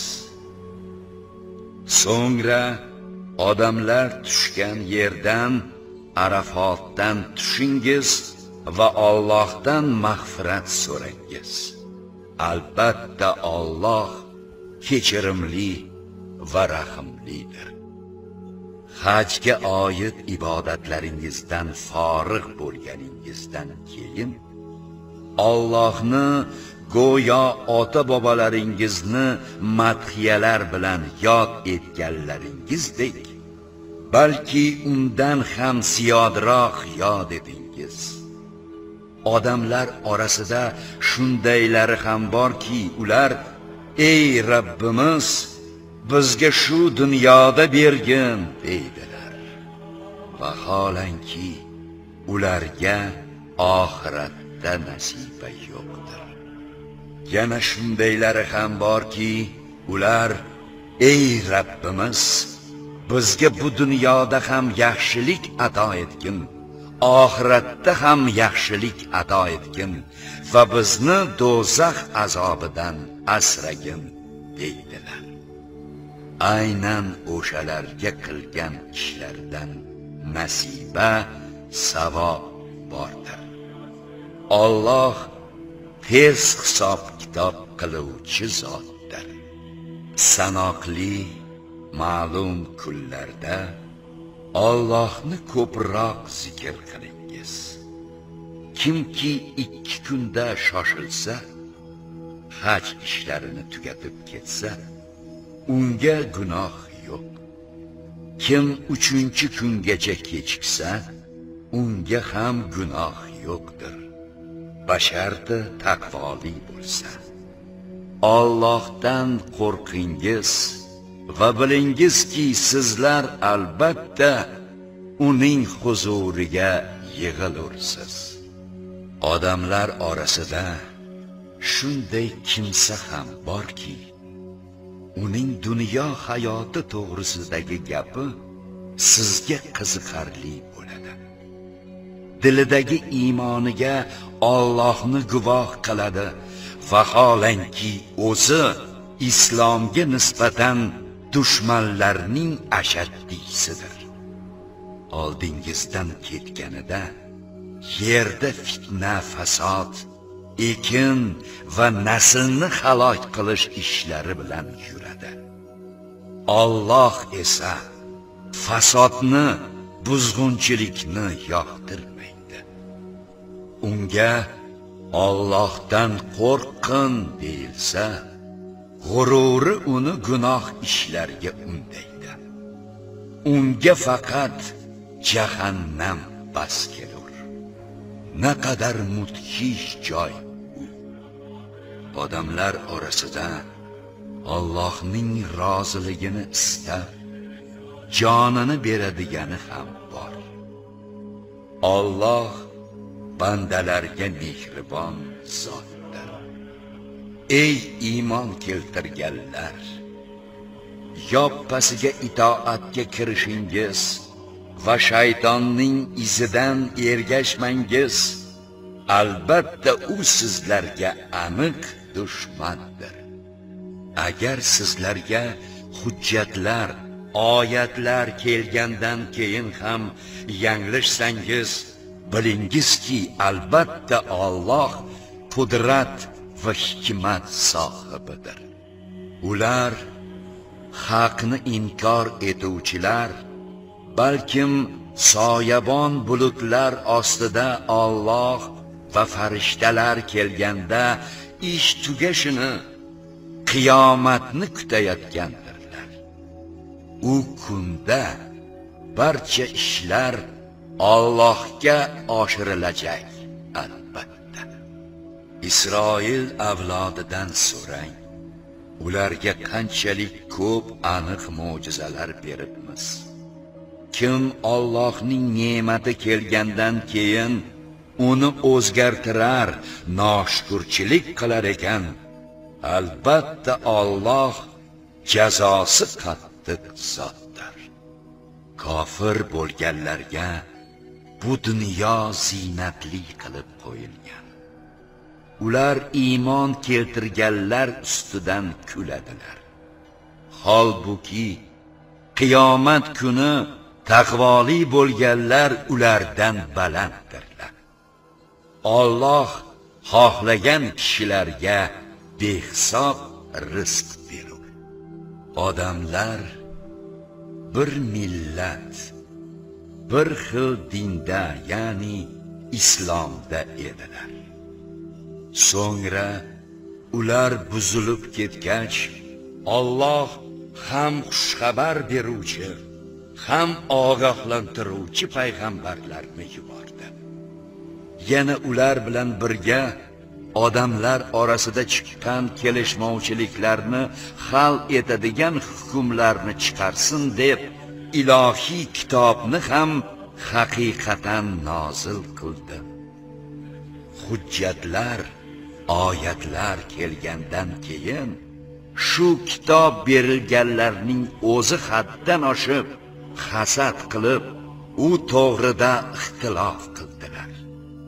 Lekin Alloh iymon keltirganlarni ular ixtilof qilgan narsalar ichidan o'z izni ilmi bilan hidoyat sari yo'lladi. Alloh o'zi xohlagan kishilarni to'g'ri yo'lga yo'llagay.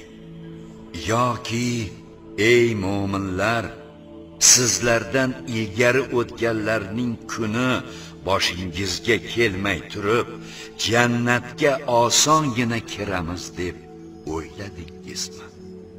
Ularga balo va musibatlar kelib shunchalik larzaga tushgan edilarki hatto payg'ambar va iymonli kishilar Allohning yordami qachon kelar ekan degan edilar. Ogoh bo'lingki Allohning yordami hamisha yaqindir. Sizdan ey Muhammad qanday ehson qilishni so'raydilar.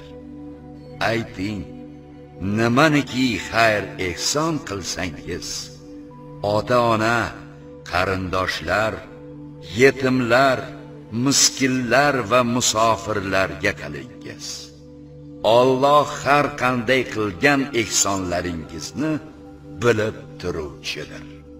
Sizlarga yov bilan jang qilish farz qilindi. Vaholanki u sizlar uchun yoqimsizdir. Balkim sizlar yoqtirmagan narsa aslida o'zlaringiz uchun yaxshi yoqtirgan narsangiz esa aslida sizlar uchun yomon bo'lib chiqar. Alloh bilur sizlar esa bilmaysizlar. Sizdan shahri haromda jang qilish hukmi haqida so'ramoqdalar. Ayting unda jang qilish katta gunohdir. Lekin odamlarni Alloh yo'lidan qaytarish unga kufur keltirish va hojilarni masjidi haromdan to'sish hamda aholisini quvib chiqarish Alloh nazdida ulardan ham kattaroq gunohdir. Fitna esa qotillikdan ham kattaroq gunohdir. Ular imkon topsalar to diningizdan qaytarmagunlaricha sizlar bilan jang qilaveradilar. Sizlardan kimda kim o'z islom dinidan qaytib kofir holida o'lsa unday kimsalarning qilgan amallari toat ibodatlari dunyoyu oxiratda behuda ketar. Ular do'zax ahlidirlar va unda mangu qolurlar.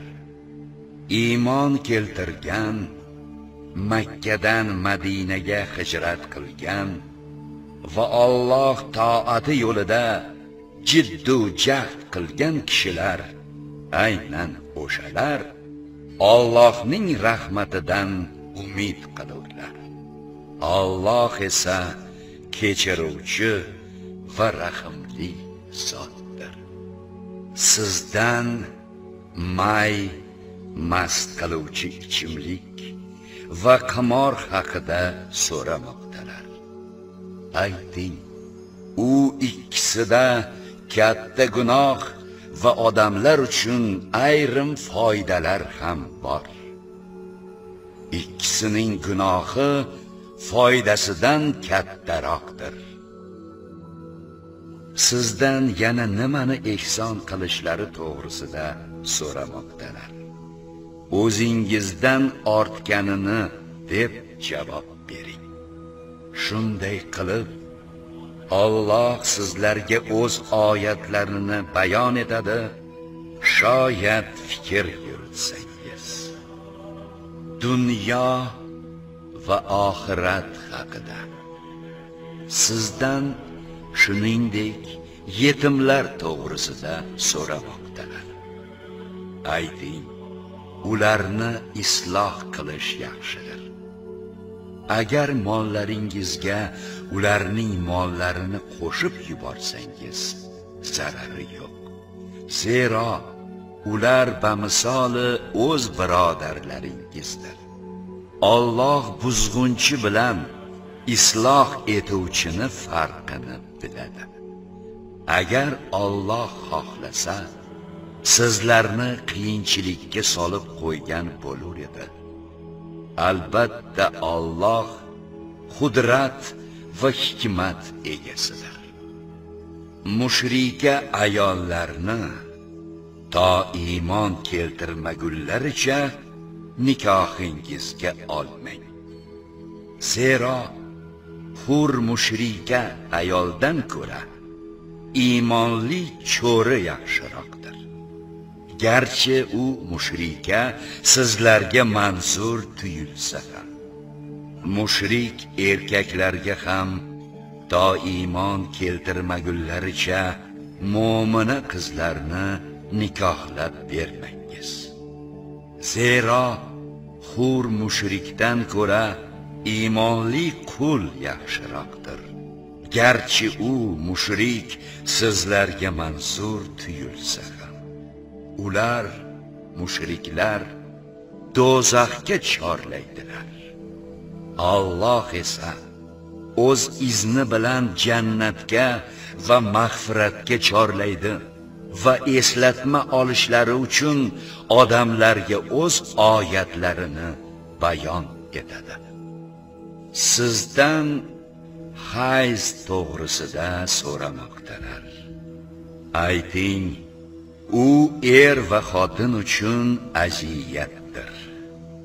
Bas hayz paytida xotinlaringizdan chetlaningiz va to poklanmagunlaricha ularga yaqinlashmangiz poklanganlaridan keyin ularga Alloh buyurgan ravishda kelaveringiz qovushaveringiz.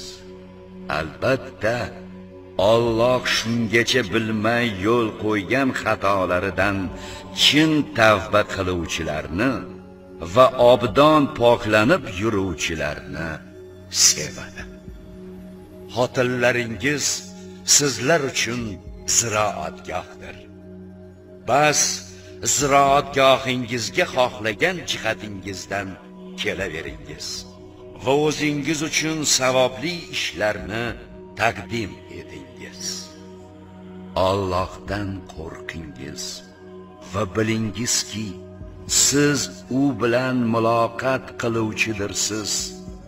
Mo'minlarga oxirat mukofotlari haqida xushxabar bering ey muhammad. Ezgu ish qilishingiz taqvoda bo'lishingiz va odamlar o'rtasini isloh etishingiz borasidagi qasamlaringiz uchun Alloh nomini ko'ndalang qilavermangiz. Alloh eshituvchi va biluvchi zotdir. Alloh sizlarni tilingiz uchida aytgan behuda qasamlaringiz uchun javobgar qilmaydi. Balki dillaringiz kasb etgan narsa qasamlaringiz uchun javobgar qilur. Alloh kechirimli va halim zotdir. Xotinlaridan qasam bilan voz kechganlar uchun 4 oy muhlat bor. Agar shu muddat ichida qasamlaridan qaytsalar joizdir zero Alloh kechirimli va rahim bordiyu taloq qilishga azmu qaror qilgan bo'lsalar buni ham Alloh eshituvchi va biluvchidir.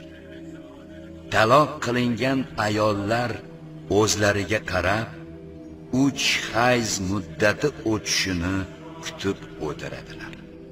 Agar ular Allohga va oxirat kuniga ishonsalar bachadonlarida Alloh yaratgan narsa homila yoki hayzni yashirishlari halol ish emas. Agar erlari islohni oilani tiklashni xohlasalar shu muddat ichida ularni qaytarib olishga haqlidirlar. Ayollar uchun belgilangan huquqlar o'z me'yorida erkaklar huquqi bilan tengdir. Ayollarga nisbatan erkaklarda bir daraja ziyodalik bor. Alloh qudrat va hikmat egasidir.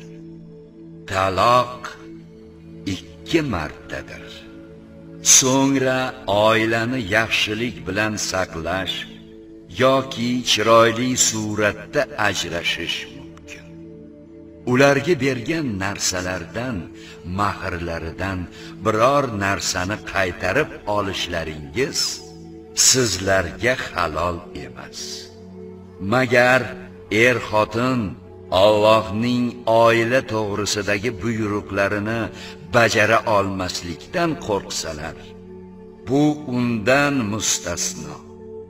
Agar ularning Alloh buyruqlarini bajara olmasliklaridan qo'rqsangiz eridan taloq olish niyatida evaz berishida va erning shu evazni olishida er xotin uchun gunoh yo'q. Bu Allohning belgilab qo'ygan hudud chegaralaridir. Ulardan oshib tajovuz qilmangiz. Kimki Allohning hududidan tajovuz qilsa ana o'shalargina zolimlardir. Agar uni uchinchi marta taloq qilsa u ayol to boshqa er bilan nikohlanmagunicha va undan ham taloq olmagunicha unga halol bo'lmaydi. Bas agar keyingi er uni taloq qilsa qaraladi. Agar Allohning buyruqlarini bajara olishga ishonsalar avvalgi eri bilan turmushga qaytishlarida gunoh yo'qdir.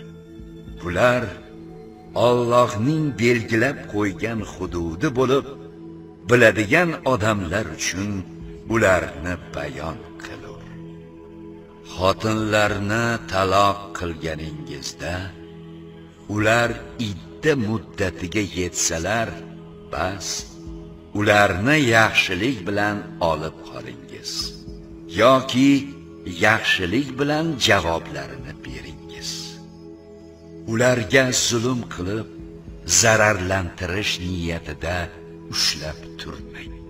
Kim shunday qilsa demak o'ziga zulm qilibdi. Allohning oyatlarini hazil bilmangiz. Allohning sizlarga bergan ne'matini va sizlarga nasihat sifatida nozil qilgan kitob va hikmatni yodingizda tutingiz. Allohdan qo'rqingiz va bilingizki albatta Alloh hamma narsani biluvchi zotdir. Xotinlarni taloq qilganingizda idda muddatiga yetgan bo'lsalar ey ota ona va qarindoshlari ular o'zaro yaxshilikcha kelishib olgan bo'lsalar erlariga qaytadan nikohlanishlarida ularga tazyiq o'tkazmangiz bu gaplar sizlardan Allohga va oxirat kuniga iymon keltirganlar uchun nasihat sifatida aytilmoqda. Bu sizlar uchun eng beg'ubor va pok hukmdir. Alloh bilur sizlar bilmassiz. Onalar bolalarini to'la 2 yil emizadilar. Bu muddat emizishni kamoliga yetkazishni istovchilar uchundir. Ularni onalarni me'yorida oziqlantirish va kiyintirish otaning erning zimmasidadir. Hech kimga toqatidan ortiq mas'uliyat yuklanmaydi. Bolalari tufayli ota ham ona ham zarar ko'rmasin. Merosxo'rning zimmasida ham xuddi shunday nafaqa mas'uliyati bor. Agar ota ona o'zaro kelishib maslahat bilan bolani sutdan ajratmoqchi bo'lsalar gunohkor bo'lmaydi. Agar bolalaringizni begona ayolga emizdirmoqchi bo'lsangiz haqqini me'yorida to'lab turingiz. Gunohkor bo'lmaysiz. Allohdan qo'rqingiz va bilingizki albatta Alloh qilayotgan ishlaringizni ko'rib turuvchi zotdir. Sizlardan vafot etib xotinlarini qoldirgan bo'lsalar beva xotinlari 4 oy u 10 kun o'zlarini kuzatib idda saqlab o'tiradilar. Idda muddatlarini o'tab bo'lgach ular o'z turmushlari xususida yaxshilik bilan qilgan ishlarida sizlar uchun ey mayyit egalari gunoh yo'qdir. Alloh qilayotgan ishlaringizdan xabardordir. Tul xotinlarga sovchilikni ishora taklif qilishingizda yoki uni ichingizda pinhon saqlashingizda sizlar uchun gunoh yo'q. Alloh u xotinlarga sovchilik haqida gapirishingizni lekin ular bilan xufiyona va'dalashmangiz faqat ularga yaxshi gap gapirishingiz mumkin. To bitik idda o'z muddatiga yetmaguncha nikoh bog'lashga azmu qaror qilmang va bilingizki albatta Alloh ichlaringizdagi narsani ham bilur. Bas. Undan azobidan ehtiyot bo'ling va yana bilib qo'yingizki albatta Alloh kechirimli va halimdir. Agar xotinlaringizni qovushmay turib yoki ularga mahr belgilamay turib taloq qilsangiz sizlar uchun gunoh yo'qdir. Lekin ularni moddiy jihatdan ta'minlang. Boy ham kambag'al ham o'z hollariga qarab ta'minlasin. Ezgulik qiluvchilar yaxshi odamlar zimmasiga yuklangan huquq shudir. Agar ularga mahrni belgilagan bo'lsangiz lekin qovushmay turib taloq qilgan bo'lsangiz belgilangan mahrning yarmi zimmangizdadir. Magar ular shu yarmini olishdan ham voz kechib yuborsa yoki nikoh o'z ixtiyorida bo'lgan kishi ya'ni er o'sha yarim mahrdan voz kechsa uni mukammal to'lasa joizdir. Kechib yuborishingiz taqvoga yaqinroqdir. O'zaro bir biringizga fazl muruvvat qilishni unutmangiz. Albatta Alloh qilayotgan amallaringizni ko'rib turuvchidir. Besh vaqt farz qilingan namozlarni xususan o'rta namozni saqlangiz o'z vaqtida o'qingiz va namozda Allohga bo'yin sungan holatda kamtarlik bilan turingiz. Agar dushman hujumidan xavfda bo'lsangiz bas piyoda yoki ulovda namoz o'qiyveringiz. Xavfdan xotirjam bo'lganingizda esa bilmaganlaringizni sizga ta'lim berganidek Allohni zikr eting namoz o'qing. Sizlardan vafot etib xotinlarni qoldiradiganlar xotinlariga bir yilgacha erining uyidan chiqarilmay ta'minlanadigan miqdordagi narsani vasiyat qilsinlar. Agar ular xotinlar o'zlari ixtiyoriy ravishda chiqib ketib o'zlariga tegishli ziynat pardoz va sovchilarga ko'rinish kabi joiz ishlarni qilishsa sizlarga gunoh yo'qdir. Alloh qudrat va hikmat egasidir. Taloq qilingan ayollarni me'yorida ta'minlash taqvodor erlarning zimmalaridagi haq burchdir. Shu tariqa Alloh sizlarga o'z oyatlarini bayon etadi.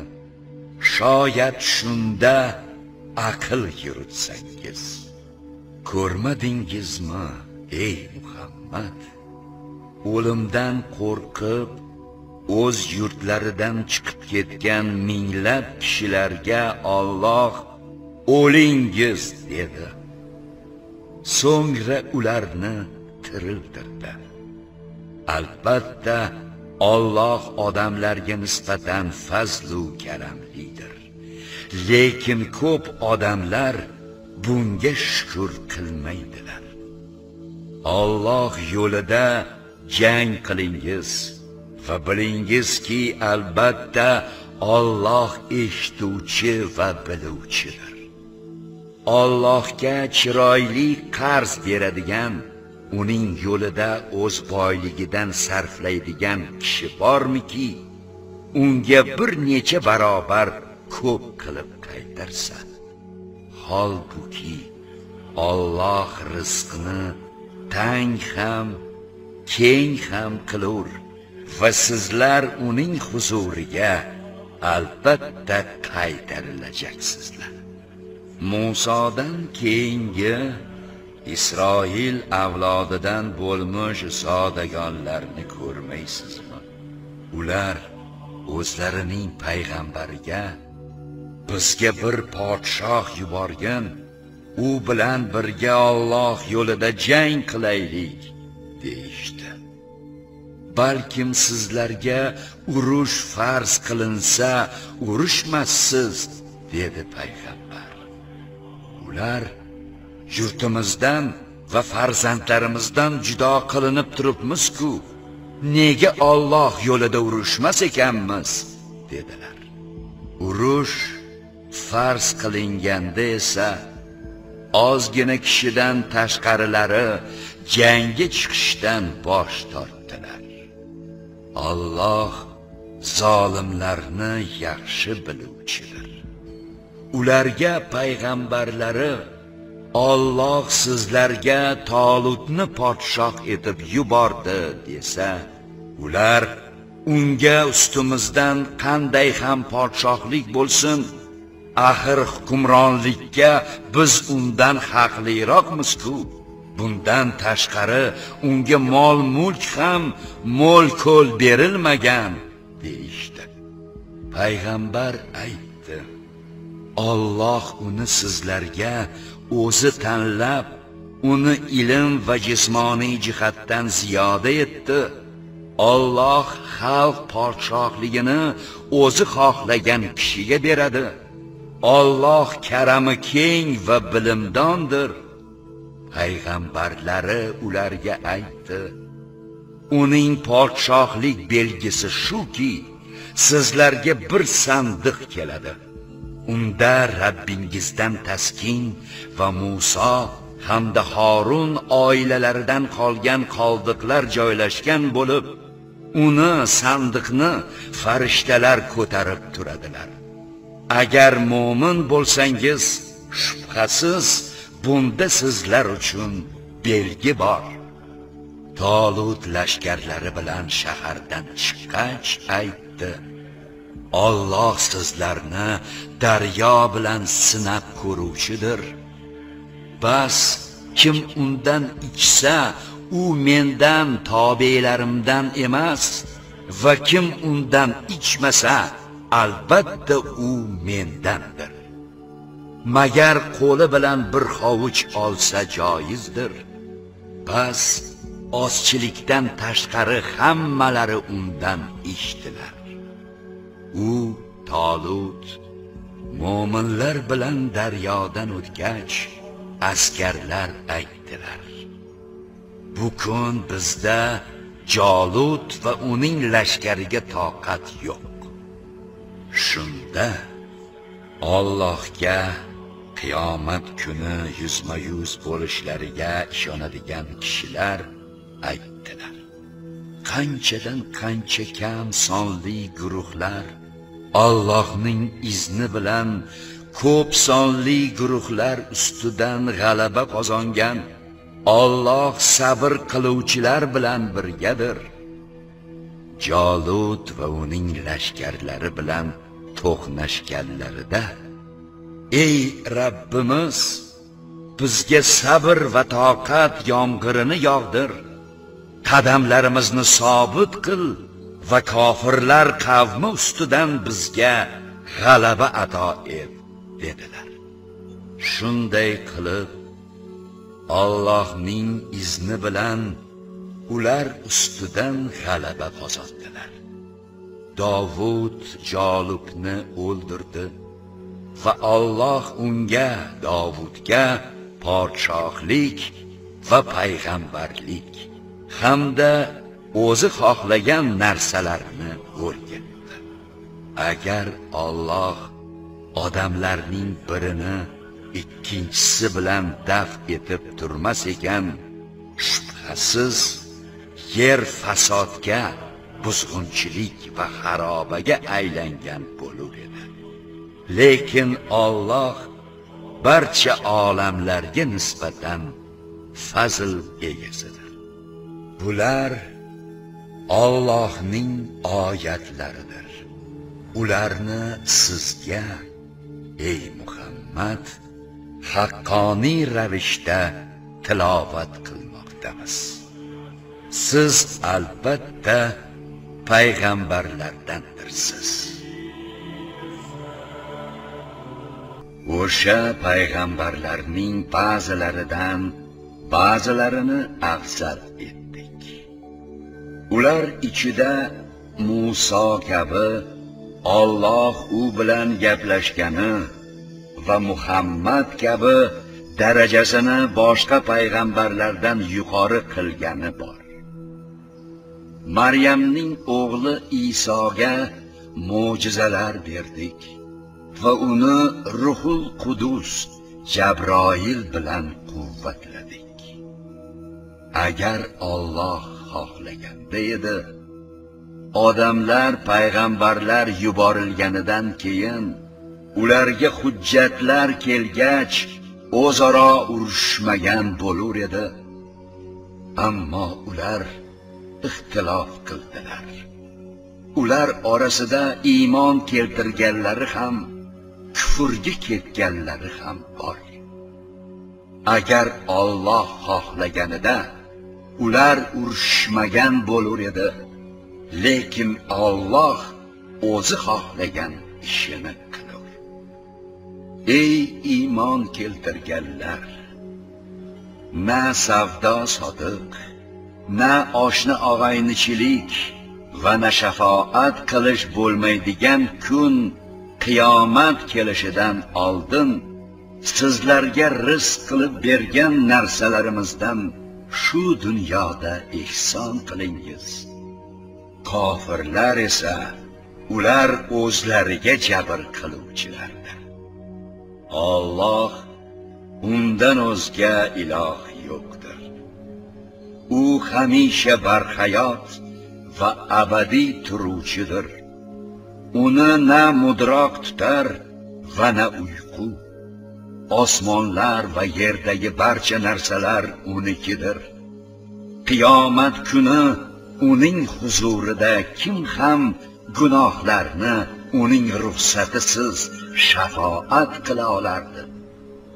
U ulardan odamlardan oldingi va keyingi narsalarni bilur. Odamlar uning ilmidan faqat u istagan miqdoricha o'zlashtirurlar. Uning kursiysi osmonlar va yerni ham o'z ichiga sig'dira olur. U ikkisini muhofaza etish uni toliqtirmas. U oliy va buyukdir. Dinda zo'rlash zero to'g'ri yo'l yanglish yo'ldan ajrim bo'ldi. Bas kim shaytonni yoxud butlarni inkor etib Allohga iymon keltirsa demak u buzilmas ishonchli xalqani tutibdi Alloh eshituvchi va biluvchidir Alloh iymon keltirganlarning do'stidir. Ularni zulmatdan nur sari chiqaradi. Kofirlarning do'stlari esa shaytonlar butlardir. Ularni kofirlarni nurdan zulmat sari chiqaradilar. Ana o'shalar do'zax ahlidirlar va ular unda mangu qoluvchilardir. Alloh saltanat berganidan g'ururlanib ibrohim bilan uning rabbi xususida bahslashgan kimsani namrudni ko'rmaysizmi? Qayski ibrohim mening rabbim tiriltiradi ham o'ldiradi ham deganida u men ham tiriltiraman va o'ldiraman dedi. Ibrohim aytdi Alloh quyoshni mashriqdan chiqaradi sen uni mag'ribdan chiqarguncha bas o'sha kofir gap topolmay lol bo'lib qoldi. Alloh zolim kishilarni hidoyat sari yo'llamagan. Yoki boshqa bir kishi Uzayr kabiki u tomlari yiqilib vayronaga aylangan qishloqdan Baytul Maqdisdan o'tib borarkan Alloh bu xarobaga aylangan qishloq ahlini qanday tiriltirar ekan-a dedi. Shunda Alloh uni Uzayrni 100 yil muddatga o'ldirdi. So'ngra uni tiriltirib dedi: "Qancha muddat o'lik holda turding?" "Bir kun yoki yarim kun" dedi u. Alloh yo'q. 100 yil turding. Taoming va ichimligingga qara, buzilmagan. Endi eshagingni chirib ketganini ko'r.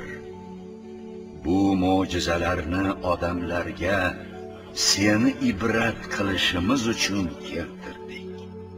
Bu suyaklarni qanday tiklab so'ngra ularni go'sht bilan qoplashimizni ko'rgin qachonki unga bu ishlar ayon bo'lgach men bilaman e'tiqod qilamanki Alloh hamma narsaga qudrati yetadigan zotdir dedi.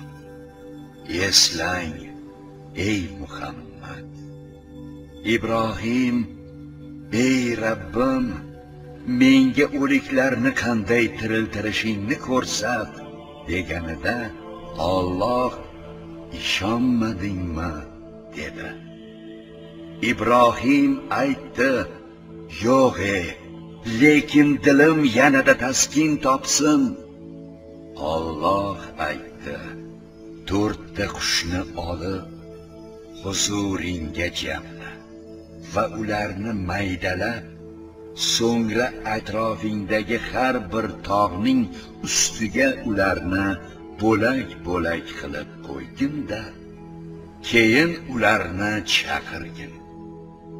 Ular tirilib darhol huzuringga keladilar. Bilginki albatta Alloh qudrat va hikmat egasidir. Alloh yo'lida mollarini ehson qiluvchilar misoli go'yo bir donga o'xshaydiki u har bir boshog'ida yuztadan doni bo'lgan yettita boshoqni undirib chiqaradi. Alloh xohlagan kishilarga savobini yanada ko'paytirib beradi.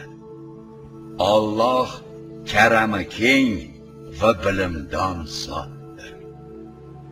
Mollarini Alloh yo'lida sarflab keyinchalik bergan narsalari ketidan minnat va ozor yetkazmaydigan kishilar uchun parvardigorlaridan mukofot bordir ularga xavf ham bo'lmas va ular tashvish ham chekmaslar.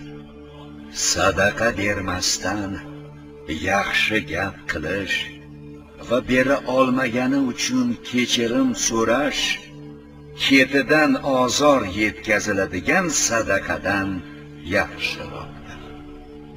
Alloh behojat va halildir ey iymon keltirganlar molini odamlar ko'rsin deb beradigan Allohga va oxirat kuniga ishonmaydigan kimsaga o'xshab bergan sadaqalaringizni minnat va ozor bilan yo'qqa chiqarmang.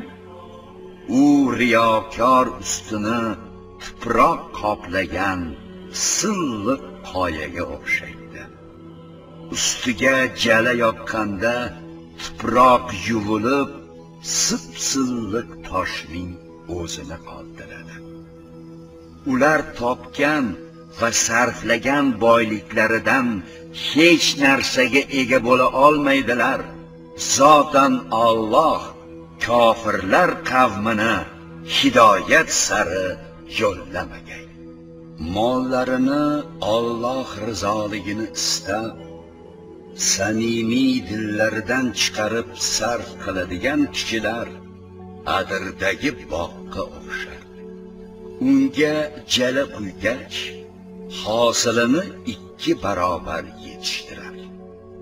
Agar unga jala yog'magan bo'lsa tomchilab yoqqan yomg'ir ham o'ziga yarasha undirar Alloh qilayotgan amallaringizni ko'rib turuvchidir ostidan anhorlar oqib turadigan xurmoyu uzumlari bor turli xil mevalari mo'l bog' egasi keksayib notavon yosh bolalari bilan qolgan paytida o'sha bog'ini olovli to'fon urib yonib ketishini xohlaydimi tafakkur qilursiz deb Alloh o'z oyatlarini sizlarga shunday bayon qiladi. Ey iymon keltirganlar o'z qo'l mehnatingiz va biz sizlar uchun yerdan chiqargan narsalarning yaxshilaridan ehson qilingiz.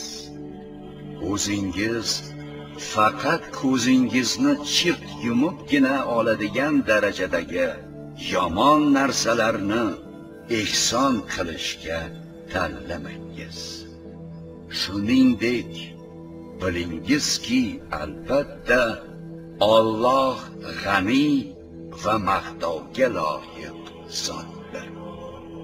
Shayton sizlarni xayr ehson qilishda kambag'al bo'lib qolishdan qo'rqitadi va fahsh ishlarga undaydi Alloh esa sizlarga o'zidan mag'firat va fazl boylik va'da qiladi. Alloh karami keng va bilimdon zot. U o'zi xohlagan kishilarga hikmat payg'ambarlik yoki qur'on ilmini beradi. Kimga mazkur hikmat berilgan bo'lsa demak unga ko'p yaxshilik berilibdi. Bundan faqat oqil kishilargina eslatma olurlar. Ehson qilgan har bir nafaqangiz sadaqangiz yoki atagan nazringizni albatta Alloh biladi. Xayr ehson qilmay o'ziga zulm qiluvchilarga esa yordam beruvchilar yo'qdir. Sadaqalaringizni agar oshkora bersangiz juda yaxshi. Bordiyu. Kambag'allarga pinhona bersangiz o'zingiz uchun yanada yaxshiroqdir. Va u gunohlaringizdan o'tar. Alloh qilayotgan barcha ishlaringizdan xabardordir. Ularning hidoyati sizning zimmangizda emas ey muhammad. Balki Alloh o'zi xohlagan kishilarni hidoyatga yo'llagan. Neki qilgan xayr ehsonlaringiz bo'lsa u o'zlaringiz uchundir faqat Allohning yuzi uchungina ehson qilgaysiz. Qilgan har bir xayr ehsoningiz savobi sizlarga adolatsizlik qilinmagan holda mukammal qaytarilur. Sadaqa va ehsonlar Alloh yo'lida jang bilan band bo'lib tijorat uchun safarga chiqa olmaydigan iffatlari tortinchoqliklari sababli bilmagan odam boy deb gumon qiladigan faqirlar uchundir. Ularning faqir ekanliklarini siymolaridan tashqi ko'rinishdagi belgilaridan bilib olasiz. Ular odamlardan qattiq turib olib tilanmaydilar. Qilgan xayr ehsoningizni Alloh bilib turuvchidir. Mol boyliklarini kechayu kunduz pinxonayu oshkora ehson qiladigan kishilar uchun parvardigorlari huzurida maxsus mukofotlari muhayyodir. Ularga oxiratda xavf ham bo'lmas va ular tashvish ham chekmaslar. Sudxo'rlar qiyomat kuni qabrlaridan jin chalib ketgan odam kabi qo'padilar buning sababi ularning bay savdo sotiq ham sudxo'rlikning xuddi o'zi degan gaplari aqidalaridir. Holbuki Alloh bayni halol sudxo'rlikni esa harom qilgan. Bas kim Rabbidan nasihat yetgach sutxo'rlikdan to'xtasa u holda avvalgi o'tgani o'ziga va uning ishi Allohga havola. Kim yana sutxo'rlikka qaytsa o'shalar do'zax ahlidirlar va ular unda abadiy qoluvchilardir. Alloh sutxo'rlikni foydasini yo'q qiladi. Va sadaqa beruvchilarga boyliklarni ziyoda etadi. Alloh har qanday sutxo'rlikni halol deb biluvchi kofirni va uni davom ettiruvchi gunohkorni yoqtirmaydi. Albatta iymon keltirgan yaxshi ishlarni qilgan namozni barkamol o'qib zakotni berganlar uchun parvardigorlarining huzurida maxsus mukofotlari bordir ularga xavf ham bo'lmas va ular tashvish ham chekmaslar ey iymon keltirganlar Allohdan qo'rqingiz va chinakam mo'min bo'lsangiz sudxo'rlik sarqitidan voz kechingiz. Mabodo bu buyruqqa itoat qilmasangiz u holda Alloh va payg'ambari tomonidan sizlarga qarshi bo'lajak urushni azobni bilib qo'yingiz. Agar tavba qilsangiz dastmoyalaringiz o'zingizga zulm ham qilmaysiz zulm qilinmaysiz agar qarzdor qiynalsa boyigunga qadar kutish lozim. Agar bilsangiz bergan qarzingizni qarzdorga sadaqa qilib yuborishingiz o'zingiz uchun yaxshiroqdir. Barchangiz Allohga qaytariladigan kundan qiyomatdan qo'rqingiz. So'ngra har bir jon egasiga qilgan amallariga yarasha. Narsa mukofot yoki jazo berilur va ularga adolatsizlik qilinmas ey iymon keltirganlar bir biringizdan biror muddatga qarz olib qarz bersangiz uni yozib qo'yingiz. O'rtalaringizda bir kotib adolat bilan yozsin. Hech bir kotib Alloh bildirgandek yozishdan bosh tortmasin albatta yozsin.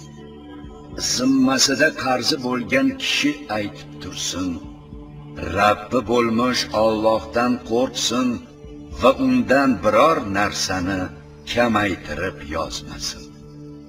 Agar gardanida qarzi bo'lgan kishi aqlsiz yo ojiz yosh yoki o'ta keksa bo'lsa yoki kar soqovligi yo til bilmasligi tufayli aytib yozdirishga qodir bo'lmasa uning homiy vakili adolat bilan aytib tursin.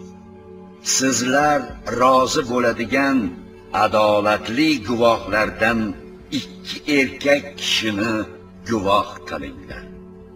Agar ikki erkak topilmasa bir erkak bilan ikki ayoldir. Biri unutib adashganda ikkinchisi eslatadi.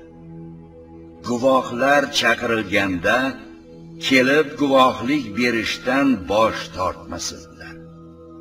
Xoh katta xoh kichik qarz bo'lsin muddatigacha yozib qo'yishdan erinmangiz mana shu Alloh nazdida adolatliroq guvohlik uchun to'g'riroq va shak shubha qilmaslikka yaqinroq ishdir. Lekin o'rtangizdagi aylanma naqd savdo bo'lsa uni yozmasligingizda sizlarga gunoh yo'qdir. O'zaro savdo sotiq qilganda ham guvoh keltiring. Kotib ham guvoh ham zararlanmasin. Agar shunday qilsangiz zararlantirsangiz bu sizning fosiqligingizdir Allohdan qo'rqingiz. Alloh sizlarga shunday ta'lim beradi. Alloh hamma narsani biluvchi zotdir. Agar safarda bo'lib kotib topa olmasangiz qarz evaziga naqd garov beringiz. Agar bir biringizga omonat qo'ysangiz omonat qo'yilgan kishi omonatni qaytarsin va Rabbi bo'lmish Allohdan qo'rqsin. Guvohlikni yashirmangiz. Kim uni yashirsa bas uning qalbi osiy gunohkordir. Alloh qilayotgan ishlaringizni yaxshi bilib turuvchidir osmonlar va yerdagi bor narsa Allohnikidir ichingizdagi narsani oshkora qilsangiz yoki yashirsangiz ham Alloh sizlarni u bilan hisob kitob qilur. So'ngra o'zi xohlagan kishini mag'firat qilib o'zi xohlagan kishini azoblar olloh hamma narsaga qodirdir. Payg'ambar muhammad o'ziga parvardigoridan nozil qilingan narsaga oyatlarga iymon keltirdi. Va mo'minlar ham. Ularning har biri Allohga farishtalarga kitoblariga va payg'ambarlariga birortasini ajratmasdan hammasiga iymon keltirdi. Eshitdik va itoat etdik. Ey Rabbimiz mag'firatingni so'raymiz. Qaytishlik faqat sening huzuringgadir dedilar. Alloh hech bir jonga toqatidan tashqari narsani taklif etmaydi. Uning kasb etgani yaxshiligi o'ziga va orttirgani yomonligi ham o'zigadir.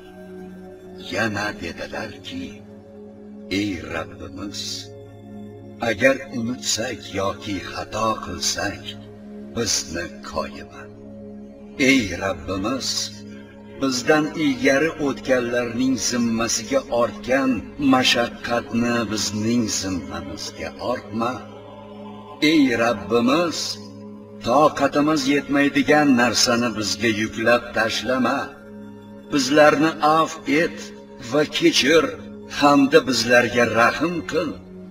Sen bizning hojamizsan bas bizlarga kofirlar qavmi ustidan g'oliblik ato et